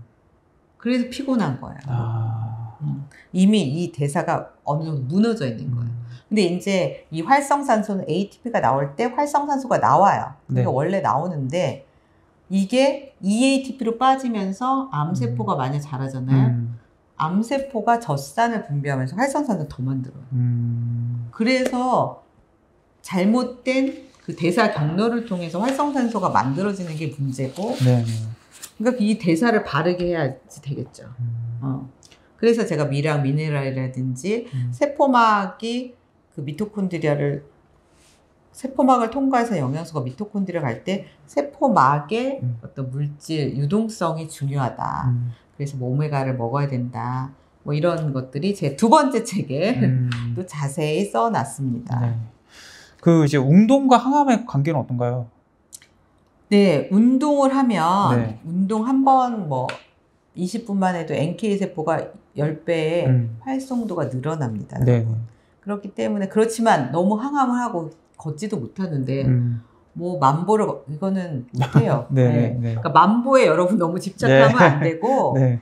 네, 자기의 체력에 맞게 가벼운 산책부터 시작했어요. 저는 음. 가벼운 산책. 음. 지금도 뭐 저 헬스장을 이제 어제 처음 어, 네. 끊었습니다. 네. 그래서 제가 이제 운동을 좀 싫어해요. 음. 다른 실행력은 있는데 네. 여지껏 집에서 홈트 위주로 하다가 네. 이제 드디어 나왔습니다. 음. 근데 저희 남편이 저 하는 거 보더니 지금 노는 건지 운동인지 여보 이제 서서히 내가 을- 늘려가겠다. 어떻게 갑자기 내가 근육을 만들겠느냐. 음. 그러니까 운동이 중요한데 음. 뭐 유방 환자들은 이제 이 전절제를 하면 이 왼쪽 팔을 한 달 동안 못 써요. 오, 들 수도 네. 없어요. 네, 네. 겨드랑이도 많이 했기 때문에 이제 팔 운동도 잘 못하는 네. 거 헬스장 가서 뭐 필라테스 뭐 이렇게 팔 지지하고 음. 이런 거 할 수가 없고 음. 또 그쪽으로 무리하면은 림프 부종이라고 해서 막 팔이 부어요. 아. 그래서 굉장히 조심해야 되기 때문에 네. 일단 환자들은 걷기부터 하라. 음. 근데 요즘 뭐 맨발 걷기, 네. 막 산에 가서 그거는 정말 의지가 강해야 될것 아. 같아요. 저는 그런 요법은 안 했어도 건강해, 네, 네. 건강했었습니다. 음, 음, 음. 네, 이제 조금 더 몸매 라인을 만들고 음, 음. 근육량을 늘기 위해서는 네. 조금 더 이제 더 타이트한 운동이 필요하겠지만 저는 그냥 걷기 음. 또좀 공기 좋은 데서 네. 가벼운 2, 30분부터 시작하는 거 네. 아니면 가벼운 나한테 맞는 홈트 음. 이런 정도로 시작을 그냥 집에서 음. 그래서 저는 항암 중에는 풍욕이라는 거 있어요. 풍욕이요? 네. 네. 창문을 이렇게 열어놓고 음. 옷을 좀 다 벗어요. 네. 아 바람을 맞는 거군요, 그러니까. 어. 그 풍욕 영상이 있거든요. 음. 누워서 하는 거예요. 오. 누워서 이렇게 좀 이렇게 움직이는 네. 건데 그게 암 환자들 일단 안 나가도 되고 네. 어, 풍욕을 하면서 어, 그것도 따라하는 게 좀 쉽지 않거든요. 그렇죠. 네. 그 미, 일본의 와타나베라는 병원에서는 네. 말기암 환자들이 풍욕을 하루에 음. 11번을 한대요. 음. 그런 것만으로도 치유됐다는 음. 그런 사례들이 많아요. 음. 그래서 저는 11번은 보지 못하고요. 음. 한번 정도 음. 항암 때 어디 음. 못 걸으니까 누워서라도 좀 하는 거죠. 근데 음. 그것도 상당히 힘들어요. 네. 음. 그것도 참고하세요. 네. 그 운동을 할 수 있는 한 많이 할수록 좋은 거예요? 아니면 적정? 뭐- 적정, 네. 적정. 적정이 어느 정도일까요? 그럼 이게? 어, 제 책에 이제 그 뭐, 뭐, 그, 썼던 것 같은데, 네. 음, 하면 좋은데, 음. 너무 막 못 일어날 정도로, 음. 운동을 해서 너무 피곤할 정도는 네. 안 되고, 음. 네. 제가 운동에 대해서는 그렇게 네. 솔직해야 되니까 아, 그럼- 그러면- 할 말이 많지 않아서 그럼, 그럼 작가님은 이제 그 이제 걷기만 암. 암치를 하는 동안은 어느 정도의 운동하신 건가요? 어, 한 시간? 한 시간 걷기? 아니, 걷기. 어, 그 정도만 해도 걷기도 충분하다. 빠른 걷기 아니었어요. 네, 천천히 걷기. 천천히 걷기. 음. 기분 좋은 걷기. 음. 처음에는 산책. 네. 음. 저희 그 아파트 내 단지에 조그만 공원이 있어서 거기를 그냥 처음에는 진짜 산책, 음. 기분 좋은 산책 있죠. 네. 그래도 그걸 걷는 것과 안 걷는 거는 굉장히 큰 차이가 있었고 음. 체력이 좀 붙었을 때는 좀 산을 좀 갔죠. 어. 지금 바빠서 산을 네. 못 가니까 대신 헬스장. 이제 헬스장을 네. 시작해서 예, 음. 음. 걷기. 음. 헬스장 가서도 러닝에서 천천히 걷기 음, 이제 음, 시작했습니다. 네. 그 우리가 냉장고에서 당장 버려야 하는 암 유발 식품들은 어떤 것들이 있을까요? 각종 소스류, 어, 뭐 마요네즈, 네. 케찹, 뭐 월남쌈 소스, 네. 뭐 각종 소스들이 뭐 이렇게 많아요. 엄청 많죠 요즘에 또. 네, 그게 다 천연이 아니잖아요. 네네. 다 합성된 맛을 낸 거기 때문에 아. 암 환자들은 그거랑 빠이빠이. 음. 그래서 그런 거 싹 다 버렸고, 네. 그 다음에 인스턴트류 네. 버렸고, 네. 일단 플라스틱에 넣었던 것들은 다 버렸어요. 그러니까 어. 용기를 제가 유리 용기나 스테인레스 용기로 싹 다 바꿨고, 음. 냉동실에서 정말 하, 냉동실에 건질 게 없더라고요. 이만큼 버렸던 것 같아요. 어. 우리 남편이 너무 놀라면서 여보 음. 이거 왜 왜 다 버리냐 그러는데 음. 아니 이거 먹으면 안 된다고. 음. 그래서 이제 그 다음부터는 장, 예전에는 장 볼 때 굉장히 간편식을 네, 다 넣었다면 네. 뭔가 뭐가 금방 되는 네. 그런 것만 넣었다면 네. 지금은 다 생이죠. 음. 야채 뭐 그냥 음. 생물만 넣는 거예요. 음. 이제 그런 거는 빠이빠이를 해야 돼요. 음. 암 환자가. 정상인들은 뭐 조금 독을 넣어도 되겠죠, 몸에. 우리는 독을 넣으면 살 네. 수가 없어요. 음. 네. 아, 여기 소스에는 뭐 예를 들어서 고추장, 된장 이런 것도 포함되는 건가요? 어떻게 되는 건가요? 어, 고추장, 된장도 이제 네. 시판된 건 안 먹죠. 음. 아, 시판된 거 안 먹고, 네. 이제 특별 고추장, 뭐 시골에서 어. 직접, 어. 뭐, 당근, 음. 예, 그런 첨가물이 없는. 음. 그 다음에 된장 같은 것도 이제 수입 콩으로 많이 만들잖아요. 네, 네. 수입산 대두는 이제 네. GMO라고 유전자 조작 콩을 많이 쓰기 그쵸. 때문에 네. 그런 거는 이제 안 돼요. 음. 그래서 집된장, 음. 네. 국산 콩으로 네. 그러니까 원산지를 이제는 보셔야 돼요. 어. 내가 먹는 거니까 네. 이제 조금 가격이 나가더라도 이제 음. 싹 바꿨습니다. 어. 다 버려야 됐어요. 그래서 그러니까 다 버렸을 거. 남... 간장도 버리고 유기농 간장으로 바꾸고 음, 아, 그럼 남은 게 뭐였어요? 냉장고에? 없죠. 싹 다 버렸죠. 그 뭐 채소, 과일 뭐 이, 정도, 남아요. 이 정도만 그렇죠. 남은. 네네. 냉동 과일은 상관없나요? 어떤가요, 그건? 냉동 과일. 뭐 냉동 블루베리 이런 거 있잖아요. 유, 유기농, 유기농이면? 유기농 블루베리. 네, 아. 저는 유기농 블루베리 잘 써요. 유기 뭐 유기농 블루베리, 유기농 망고 음. 그런 거를 유기농을 딱 그 믹서기에 넣고 네. 견과류 네. 좋은 거 한 줌 딱 넣어서 음. 바나나 딱 넣어서 음. 갈아서 스무디가 돼요. 되게 어. 맛있어요. 음. 그게 저의 간식. 음. 그리고 망고는 망고 스무디. 네네네. 그쵸. 블루베리 블루베리 스무디. 그쵸. 가- 감 같은 거 있잖아요. 얼린 네, 감. 네. 홍시 스무디. 음. 어, 그럼 우리 먹을 거 많아요. 어. 그렇게 먹으면 음. 됩니다. 뭐 우유에 대해서 한번 여쭤보고 싶은데 항상 우유가 이제 뭐 논란이 많은 것 같아요. 저가 어렸을 때는 완전 식품이다. 네. 약간 그런 얘기 듣긴 그렇죠. 했는데 어떤가요? 그러니까 이제 네. 우유는 네. 잘 생각해 보세요. 네. 다 소가 어떻게 키워지냐. 사료를 먹고 크죠. 그쵸. 네. 네. 막 목초, 푸른 막 그런 목장에서 네. 목초를 먹고 크는 어, 우유는 비, 비싸겠죠. 저기 음. 뭐 어디 구하기도 어려울 것 같은데요. 초원에서 네. 자라는 저기 호주에서 음. 유기농 청정 음. 뭐 그런데 그런 젖소들도 우유 젖이 잘 나오려면 막 이 염증이 잘 생기잖아요. 음. 그래서 항생제를 투여를 많이 하잖아요. 음. 일단 항생제 투여 많이 하고 사료를 네. 먹잖아요. 네. 그럼 먹은 대로 나오는 거예요. 항생제와 음. 그런 사료 성분들이 이게 섞여 있고 네. 그다음 우유 자체가 이제 단백질이잖아요. 네. 그래서 IGF-1이라는 게 들어가요. 음. 인슐린 그로스 팩터 1이라는 게 들어가서 네. 아이들한테는 성장을 해야 되니까. 음. 근데 우린 다 큰 성인은 성장할 필요가 없어요. 네. 그래서 이런 IGF-1이 음. 우리 세포막에 있는 어떤 그 수용체와 붙어서 네. 이상 증식을 하게 돼요. 이상 발현을 하는 발현이 안 돼야 되는 아. 그로스 팩터가 발현이 되는 거예요. 그, 그래서 다 EGFR 뭐 변이 음. 있으면 EGFR 변이를 막는 항암제를 쓰는 거고 음. 뭐 헐투 변이 헐투의 그러니까 이런 것들이 정상인은 발현이 안 돼요. 네. 근데 발현을 시킨다는 거죠. 스위치를 온을 시키는데. 아. 그래서 여러분 뭐 그냥 먹지 말라고 하면은 설득이 안 되잖아요. 네. 그러니까 저도 되게 좋아요 라떼를 음. 하루에 두 잔을 먹었어요. 네. 10년 이상. 네. 우리나라 유방암이 10년, 20년 내 폭증을 해요. 음. 왜 그랬을까? 제가 좀 연구를 해보니까 우리나라 여성들이 이제 서양식으로 많이 바뀌었죠. 네, 네. 언제 우리가 토스트 먹고 스파게티 먹고 버터 먹고 치즈 네. 먹고 요플레 먹고 네. 커피를 언제부터 먹었을까요? 커피 그 프랜차이즈점이 막 생긴 게 언제예요? 97년, 8년. 97년이죠? 네, 네. 그때부터 급증한 거예요. 와. 제가 그때부터 먹었거든요. 음. 어, 되게 뭔가 굉장히 있어 보이는 음, 그쵸? 음. 여자의 느낌이 탁 네. 출근하면서 그쵸. 라떼 한 잔. 예, 그쵸, 그쵸. 그런 잘못된 음. 그런 그 이미지가 이제 바뀌 이게 무슨 뭔가 된 것처럼. 네네. 네. 그래서 제가 여러분 설득하는 거. 그래서 책을 쓰는 거예요. 아, 그러니까 여러분 원래 정상인들은 어, 뭐 에스트로겐 리셉터가 그렇게 과발현되지 않아요. 네. 헐투 과발현되지 않아요. 브라카 유전자가 있어도 네. 다 발현되는 게 아닙니다, 음. 여러분. 스위치가 온된 거예요. 음. 스위치를 꺼주려면 그러니까 네. 온을 시켜주는 거다. 우유 음. 속에 있는 성분이 음. 이해되셨죠? 그래서 안 되는 거예요. 고기에 있는 그런 성분들이 네. 그러니까 우리 안에 그런 유전자가 있어요. 네. 변이도 있을 수 있어요. 네. 다소 있어요, 다. 네. 네. 암세포도 있고 가발은 조금씩은 있는데 네. 이거를 악셀을 막 밟아주는 거야. 음. 누가?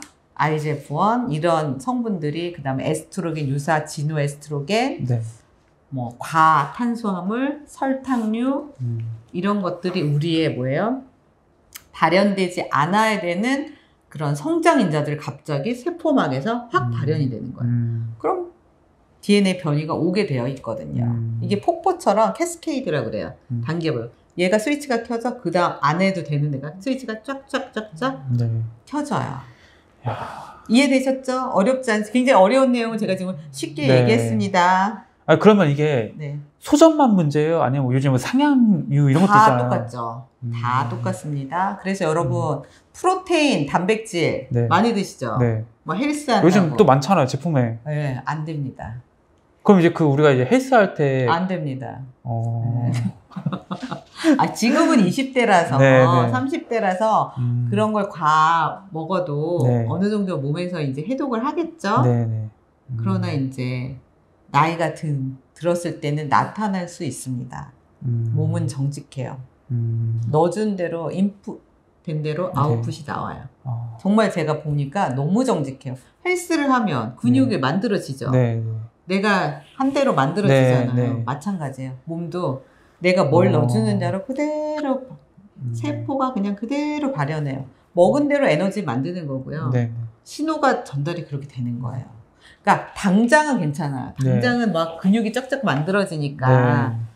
근데 지금 많이 이제 사기 환자인데 병원에서 단백질을 먹으란다고 음. 그 부모님에게 정말 그냥 고기도 아니고 네. 프로테인을 먹였더라고요. 음. 그럼 어떻게 되는지 알아요? 전이가 아주 급속하게 일어나요. 어. 그런 분들은 제가 도와줄래도 도와줄 수가 없어요. 음. 이게 사기여도 어느 단계가 있는 그쵸, 거예요. 그쵸. 너무 전이가 식이요법이 너무 안 돼 있고 음. 그러면 이제 시기가 있습니다, 여러분. 음. 음. 그러니까 그러니까 뭐든지 암 환자는 어, 지금 뭐 못 먹어서 요즘 그런 거 있잖아요. 그 영양식이라고. 네.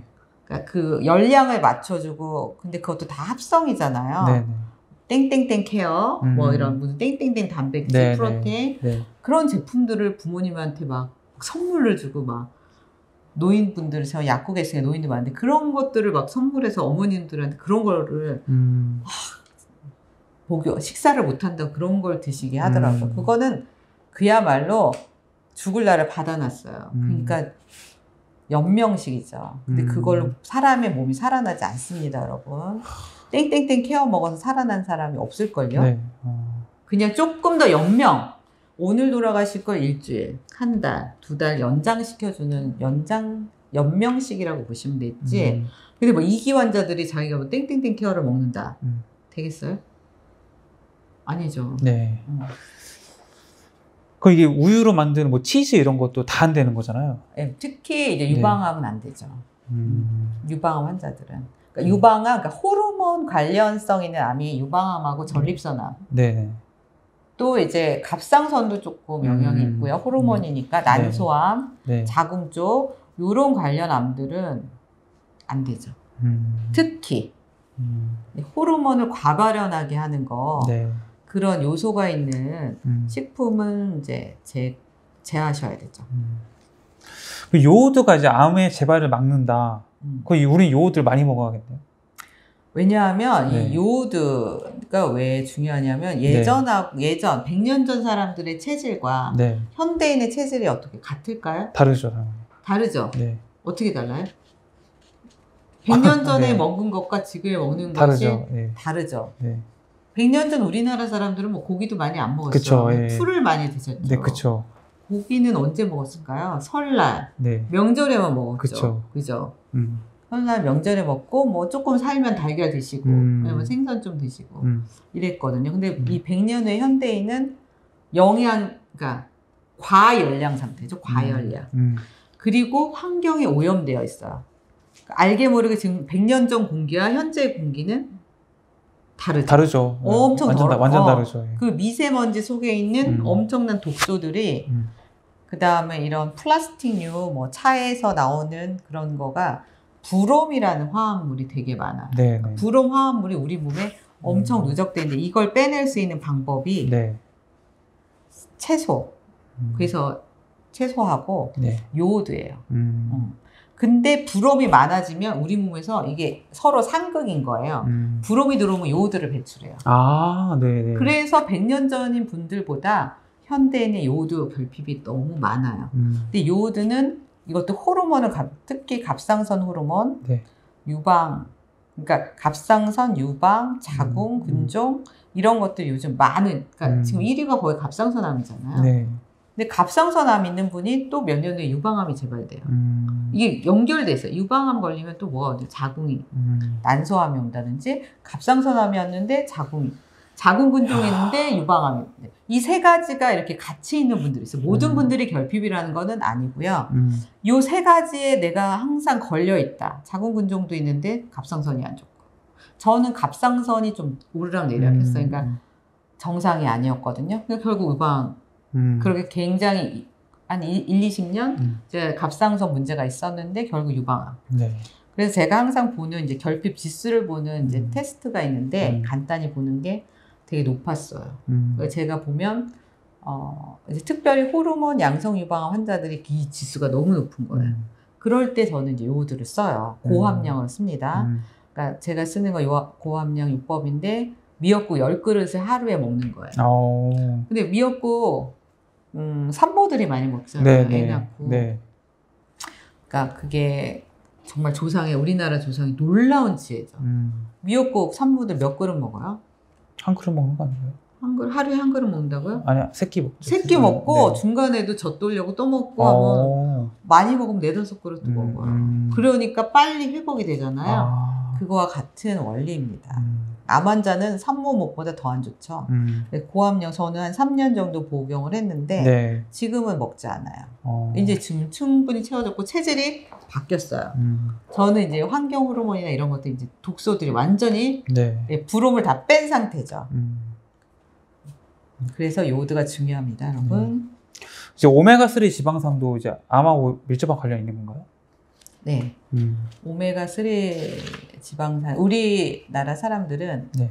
이제 오메가 6를 많이 먹어. 식용유, 네. 예, 뭐 올리브유, 네. 뭐 아보카도유는 6하고 9 정도인데 음. 이런 이제 식용유 같은 우리가 기름을 쓰는 네. 제품 오메가 6예요. 음. 근데 오메가 3대 6의 비율이 우리나라 1대 20 음. 또는 1대 60. 음. 맨날 그 치맥을 좋아하시잖아요. 네. 치킨 그 기름 네.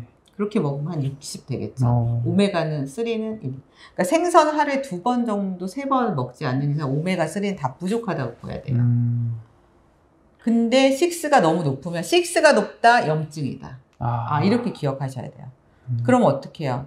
제가 그래서 식용유 절대 못 쓰게 해요. 암 음. 환자들 1도 음. 식용유 사용한 음식을 먹고서 저한테 뭐 보충제를 좀 음. 상담 안 해드려요. 음. 식단을 바꿀 의향이 없으면 상담을 해드리지 않아요. 음. 얼마나 중요하냐면 아무리 보충제를 하면 뭐예요? 이 1대 60인데. 그쵸, 그쵸. 이건 염증인데 음. 먹는 거를 안 바꾸는 이상은 안 돼요. 음. 그 대신 오메가 3는 생선 언제 세 번, 세 번 갖고 부족하죠. 뭐 네. 너무 부족한 거죠. 네. 이게 1대 2 정도 돼야 돼요. 음. 6, 3와 6가. 음. 그 얘는 거의 낮춰야 되고 얘를 네. 많이 올려줘야 되는 거잖아요. 그래서 저는 씨앗을, 여덟 가지 씨앗을, 그러니까 기름이라는 건 공기 중에 노출되면 음. 산화되는 기름이 쩐다고 하죠. 네. 쩐 기름은 우리 몸의 독이에요. 음. 그것만 기억하시면 돼요. 그래서 저온에서 그냥 압착해서 뽑아낸 기름이 오메가 3를 엄청 많은 그거가 우리 세포막을 살려요. 음. 저는 세포막은 뇌다. 뇌 얼마나 중요해요? 뇌가 중요하죠. 네네. 뇌가 멍하고 있으면 우리 몸이 어떻게 돼요? 바보 되잖아요. 네. 그것처럼 세포막이 굳어져 있는 거예요. 음. 오메가 6, 6를 많이 먹으면. 음. 그 다음에 고기류를 많이 먹으면 이 세포막은 약간 물에 이렇게 둥둥둥둥 그 우리가 튜브에 네. 물이 둥둥둥둥 떠 있는 네. 자유롭게 떠다녀야 돼요. 네네. 그게 이제 인지질이 이렇게 박혀 있는데 음. 이게 떠다니지가 않게 가만히 있게 하는 게 포화지방산 오메가 6. 음. 어렵지 않죠 개념. 네. 그걸 인지질의 유동성을 확보해야 된다 전문 용어로 하는데 인지질의 유동성을 주기 위해서 오메가 3예요. 음. 그래서 오메가 3를 좀 고함량으로 써야 된다. 근데 네. 저는 어, 생선 오메가는 쓰지 않아요. 왜요? 왜? 생선이 기름이 뽑으려면 어떻게 돼요? 그냥 나와요? 여러 화학 공정을 거치죠. 그쵸, 그쵸. 예. 그럴 때 여러 화학 물질이 노출이 돼요. 음. 그리고 산화가 돼요. 음. 그래서 이미 그거는 세포막을 살리는 용도로는 안 된다. 음. 더 순도를 높인 거를 써야 된다. 네. 음. 그럼 이게 오메가 3 이제 영양제가 또 있잖아요. 네. 그걸 먹으면 해결이 되나요? 그러니까 좋은 오메가 3를 음. 선택하는 것이 여러분의 지혜. 저희 지금 방금 정보 다 드렸잖아요. 음. 그런 걸 먹어야 그걸 네. 섭취해야 세포막을 살린다. 내 음. 머리를 살리듯이 음. 세포막이 살아난다. 네. 그래야 세포막에는 뭐가 있다? 음. 여러 가지 성장인자가 있다. 음. 이런 성장인자가 제대로 그 신호를 받으려면 네. 뭐가 되느냐? 둥둥둥둥 떠다니는 상태가 돼야 된다. 음. 그 유동성이 있어야 이상 신호를 받지 않아요. 음. 이해됐죠? 네. 어렵지 않죠? 네. 정말 쉽게 설명했습니다. 그 작가님께서 네, 어, 지금 이제 뭐 암이 완전 나으시고 네, 여러 가지 이제 암과 관련된 음. 영양소 이런 거 다 설명해 주셨잖아요. 네, 작가님이 따로 식단 말고 네. 이제 보충하기 위해서 먹고 있는 영양제 현재 먹고 있는 것이 다, 다 나은 상태에서 음. 어떤 거 드시고 있나요 주로? 어, 전 주겸. 네. 그다음에 소금 아몬- 소금 네, 그냥 생소금을 먹어요? 아니요. 네. 주겸이라는 게 있어요. 근데 주겸도 저는 이제 아로니아랑 후코이단 성분이 가미돼서 네. 더 항염, 음. 항암력을 높인 주겸을 먹는 거예요. 그러니까 음. 하나를 선택해도 제대로 된걸 네. 먹는 거죠. 네. 네. 어, 그 이제 요리할 때는 여러분 이제 좋은 천일염을 쓰시고요. 네. 네. 천일염 이런 주겸 속에는 미네랄 굉장히 많이 있어요. 그러니까, 음. 그러니까 나트륨만 있는 게 아니고 네. 미네랄. 저는 항상 핵심이 미네랄을 채워줘야 된다. 음. 그리고 주겸은 위를 좋게 해요. 네. 위에 산도를 좀 좋게 하고 음. 소화력을 높여주고 일단 산성을 알칼리로 빨리 바꾸게 음. 해요. 그래서 저는 이제 기본으로 그 주겸수 어, 너무 많이 다 알려주는 거 아닌가요? 전 또 칼슘, 액상 칼슘제를 꼭 써요. 제 네. 피부가 좋은 음, 이유는 음. 이런 것들 때문이에요. 칼슘이 피부와 관- 관련이 있나요? 좋아져요. 아 그래요? 네. 뼈만 관이 좋아진 게 네. 아니고 그러니까 어. 세포가 네. 세포 내와 외의 막에 음. 그 칼슘의 음. 세포가 딱 막이 있고 이랬으면 이게 다 액체로 돼 있는 네, 거예요. 그 네. 사이가. 네. 그 내외에 그 칼슘이 1대 만의 비율이 있어요. 음. 그래야 그 세포가 탱글탱글하게 이렇게 음. 탱글탱글 살아 있는데 네. 이런 게 미네랄 부족하면 이게 암 환자들은 쪼그라져 있다고 아. 보시면 돼요. 아 어떤 건지 아시겠죠? 네, 네, 네. 뇌도 막 건강한 애는 이제 네. 그 알츠하이머라든지 그런 치매를 앓고 있는 분들은 음. 뇌가 이렇게 쭈그러져 있잖아요. 음. 그런 거랑 같아요. 세포 막이 살아나야 네. 모든 신호 전달이 제대로 이루어져서 음. 그 증거는 얼굴색에서 나타나더라고요. 음. 몸이 살아난 걸 알 수 있는 거는 얼굴에 음. 빛이 나냐 안 나냐. 음. 여러분 뭐 얼굴에 빛이 나냐 안 나냐를 보시면 돼요. 어. 그래서 네. 예, 그런 것들을 음. 제 책에 사실 다 담아놨어요. 제가 먹는 음, 것들을 네. 그렇게 참고 너무 다 알려드릴 수는 없습니다. 이 채널에서. 네. 그 이제 그 채소 과일로 이제 식단을 관리해라, 네. 구성해라라고 말하면 이제 아 이런 건 좀 나한테 안 맞는 것 같아요라고 하시는 분들이 꽤 있어요. 그쵸 그쵸. 그런 분들은 이제 어떻게 좀 해야 그러니까 되나요? 이제 몸에 체질이 네. 열 체질이 있고 음. 뭐한 체질이 있고 음. 안에 열이 있는 분이 있고 뭐 네. 그렇고 뭐 냉은 손발이 찬 분이 있고 네. 이런 체질들이 있잖아요. 네. 근데 이제 음식에도 약간 네. 그 양성 음식이 있고 음성 음식이 있어요. 음. 그러니까 양의 음식은 음. 제 책에 표를 넣어드렸는데 교감 신경이라는 걸 항진시켜요. 음. 음의 음식은 부교감을 항진시키는데 네. 이 신경을 이해하는 게 중요한데 음. 암 환자는 교감이 올라와 있어요. 음. 부교감이 떨어져 있어요. 근데 그 항암력을 높이려면 부교감이 올라가야 돼요. 음. 부교감이 올라야 안정, 잠도 잘 자고 평안하고 음. 행복하고 막 이런 게 부교감이에요. 음. 근데 암 환자들은 스트레스를 많이 받으신 거예요. 네. 이게 올라가요. 교감이 네. 올라가 있어요. 근데 제가 얘기했죠. 양의 음식은 이거를 올려요. 그러니까 음. 어쩌면 양의 음식은 에너지도 주는 거죠. 네. 에너지를 팍 주는 거죠. 음. 이게 너무 올라가면 이게 떨어지잖아요. 부교감이. 네. 그래서 양을 줄여야 돼요. 음. 에너지. 음. 너무 에너지를 빡 주는 음식은 줄이고 음의 음식이 이제 야채가 많은 거예요. 녹색류. 음. 그래서 그 야채 그 음식표를 참고하시면 저를 딱 봤을 때 전 옛날에 네. 정말 네. 음을 안 먹었더라고요. 어. 거의 90%가 양이었어요. 양분식. 예, 양성의 음식만 먹었으니까 음. 스트레스를 더 받고 막 이렇게 잠을 잘 못 자고 막 이렇게 돼 있고 음, 음. 흥분하고 음. 뭐 그런 거예요. 네. 평안하지 않고. 어. 지금은 이걸 올린 거예요. 그러니까 이거를 또 이렇게 많이 먹으라는 건 아니에요. 음만 네. 너무 많이 먹으면 몸이 차질 수가 있으니까 음. 6대 4의 균형을 맞춰야 돼요. 음. 균형, 음. 조화 균형. 음. 이건 좀 낮추고 이건 조금 올리고. 네. 음. 그 이제 그 야채를 섭취하는 방법이 아까 몽땅 주스 말씀해 네, 주셨잖아요. 네, 이게 몽땅 주스를 만들어 먹으라는 게 네.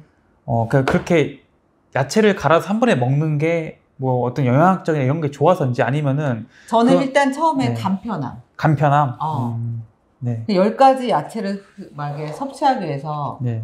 정말 제가 요리책도 많이 봤어요. 네. 뭐 항암균 먹는 해 먹을 수 있는 너무 화학력이 뛰어난 식단 네. 몇권 샀는데 하나도 따라할 수가 없는 거예요. 어. 요알 못이거든요. 요리를 네, 잘 알지 네. 못하는 음. 제가 따라할 요리가 없어요. 없어요. 이거는 요리사 수준이고 굉장히 집에서 네. 여유롭고 이제 살림을 전업으로 하고 네. 되게 요리를 좋아하는 분들이 할 수 있는 막 너무 멋진 요리 음. 못 하겠더라고요. 음. 그래서 그냥 20대 이상 요알 모신 분들도 네. 따라 할 수 있게 음.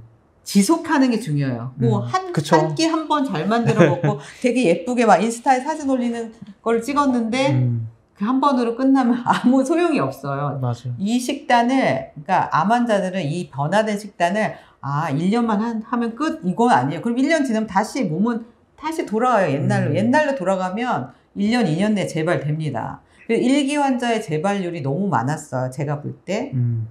그러면 물어봐요. 어떻게 하셨어요? 식단을? 똑같이 먹었는데요. 음. 그러니까 예전 먹던 대로 그대로 먹으면 우리 몸에 있는 자- 잔존 암세포들이 네. 측정 가능하지 않아서 그런 거지 음. 암세포들 남아 있어요. 음. 그러니까 아까 제 스위치 얘기했죠. 네. 발현을 하냐 안 하냐거든요. 음. 스위치가 걸리면 확 커지잖아요. 음.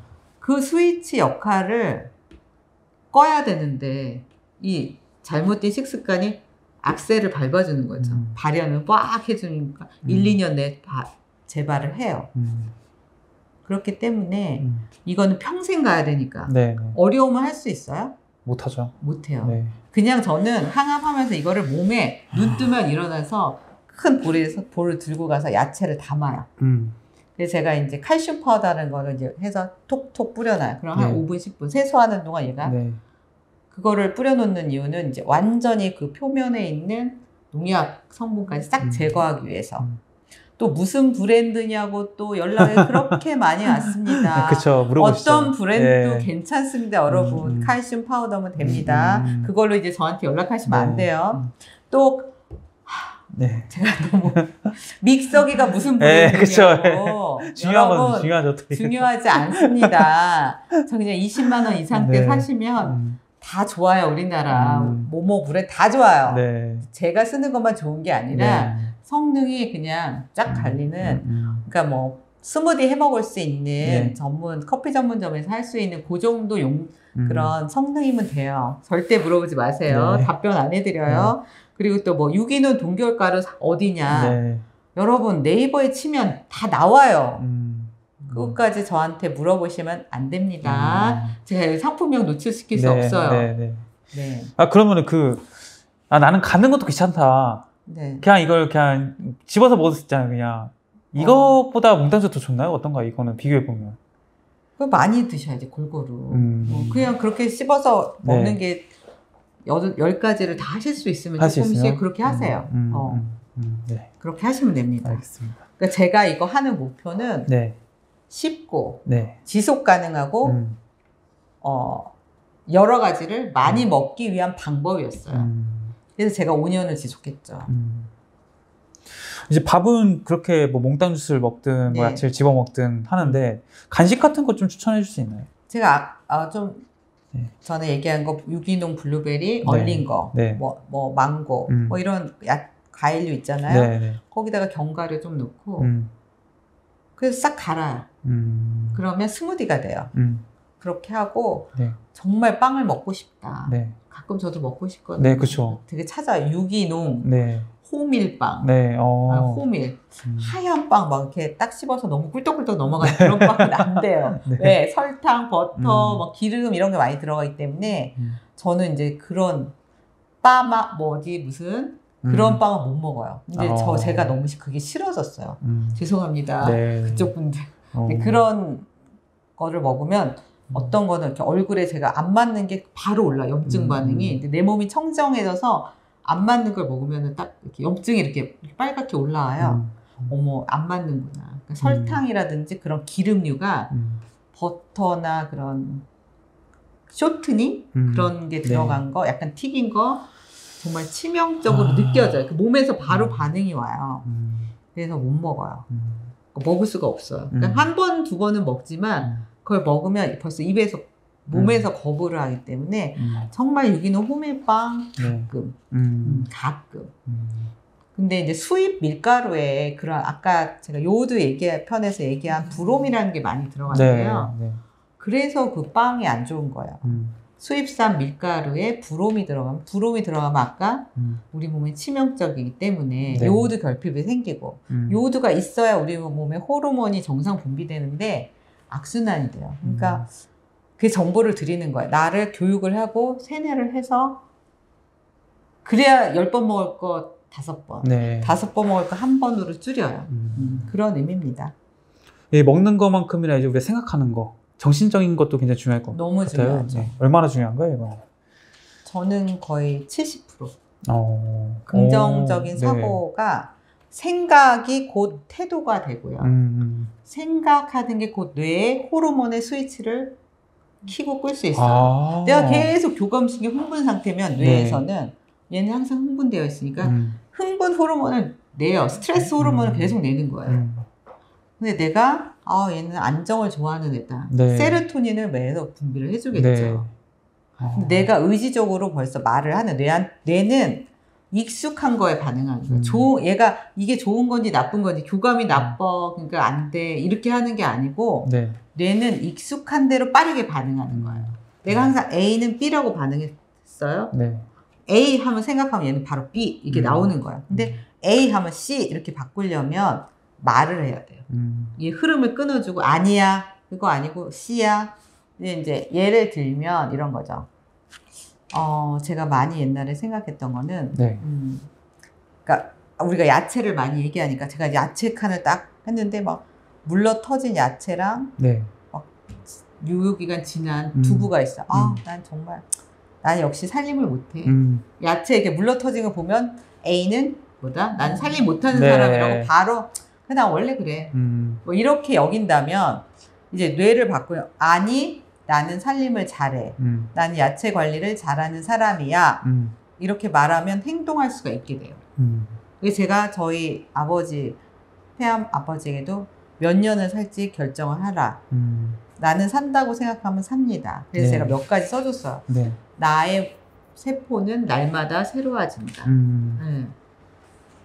그거 말하기 쉽잖아요. 네, 제가 그쵸. 우리 아이들한테도 네. 엄마 뭐 학교에서 뭐 이거 어려운데 네. A를 맞고 싶어요. 어 말해. 네. 어 나는 뭐 유기화학을 A를 맞는다. 네. 그러면 말해. 네. 돈 드니? 네 이렇게 음. 말해요. 음. 여러분 돈 말하는데 돈 들어요? 아니죠. 네. 힘이 들어요? 아니죠. 아니죠. 나의 몸은 날마다 나의 암 세포는 날마다 새로워진다. 음. 얼마나 쉬워요. 이거 말만 하면 음. 몸이 새로워진다면 해야죠. 그쵸. 해야죠. 저 첫 번째 책을 쓸 때 유방암 상담소 첫 번째 책을 쓸 때 제가 하루에 100번 쓰기로 했어요. 음. 내가 이 책을 쓸 수 있을지 자신이 없는 거예요. 네. 나는 언제까지 책을 탈고한다를 음. 한 20번 쓰고 내 책은 베스트셀러가 된다도 한 20번 쓰고 음. 근데 그걸 한 60회를 61일 정도 하니까 이제 쓸 필요가 없어요. 음. 쓸수 있게 되더라고요. 어. 이해되셨죠, 여러분? 네. 아 그럼 작가님이 실질적으로 이제 네. 암 환자였을 때 음. 했던 뭐 약간 자기 암시 뭐 이런 거 있었나요? 혹시? 저는 이제 목표를 제시해요. 네. 나의 백혈구 수치는 5천이다. 아. 나의 NK 세포 수치는 500 이상이다. 어. 그러니까 NK 세포 활성도는 500, 500 이- 이상의 활성도니까 정상인데 네. 암 환자 100 이하라고 그랬죠. 음. 말하는 거예요. 어. 네, 저 중성 지방 되게 높았거든요. 음. 중성 지방이 한막 250까지 갔어요. 음. 나의 중성 지방은 100이다. 음. 제가 2주 전에 검사했는데 정말 100에 와 있는 거예요. 그래서 와. 제가 최근 몇 년 동안 중성 지방이 안 내려오는 거예요. 음. 제가 과일을 좀 좋아해요. 네네. 다른 건 다 끊었는데 음. 과일의 양을 조절을 조금 음. 실패할 좀 여름에는 이게 치솟아요 중성 지방이 네. 그래 좀 겨울 돼서 조금 덜 먹으면 한 200. 음. 근데 와 그렇게 200 언저리니까 중성 지방이 높아도 안 되거든요. 음. 100, 100와 있어. 과일도 정말 제가 많이 줄였습니다. 작가님을 찾아보시는 분들은 그래도 네, 내가 이 암을 극복하겠다는 최소한의 의지나 생각이 있으신 분이잖아요. 그렇죠. 이게 근데 애초에 음. 이미 절망적인 상황에 빠지신 분 있잖아. 나는 암에 걸려서 끝났다. 음. 이런 사람의 생각을 바꾸는 건 어려, 어려운 거죠. 그러니까 제 책을 한번 읽고 이 유튜브 영상을 보시면은 음. 네. 어, 희망을 갖게 되시겠죠. 음, 할수 있다. 음. 근데 할 수 있다고 생각하는 것과 아, 난 희망 없어는 정말 다- 완전 다르죠. 결과가 네. 하늘과 땅 차이야. 말한 대로 됩니다, 여러분. 야, 생각한 대로 돼요. 음, 음.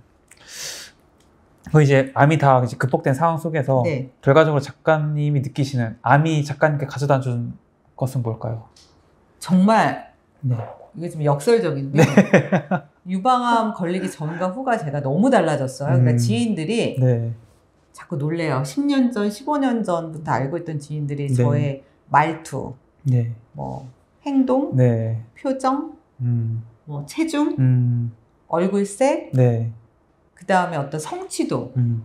제가 5년 암 걸리기 전만 해도 제가 책을 2년 만에 책을 두 권 쓴 작가가 될 거라고는 솔직히 음. 상상조차 못했습니다. 음. 그러니까 제가 암을 투병하면서 낫고자 하는 그런 갈망을 가진 거잖아요. 네, 네, 그렇죠. 어떤 목표를 가지면서 네.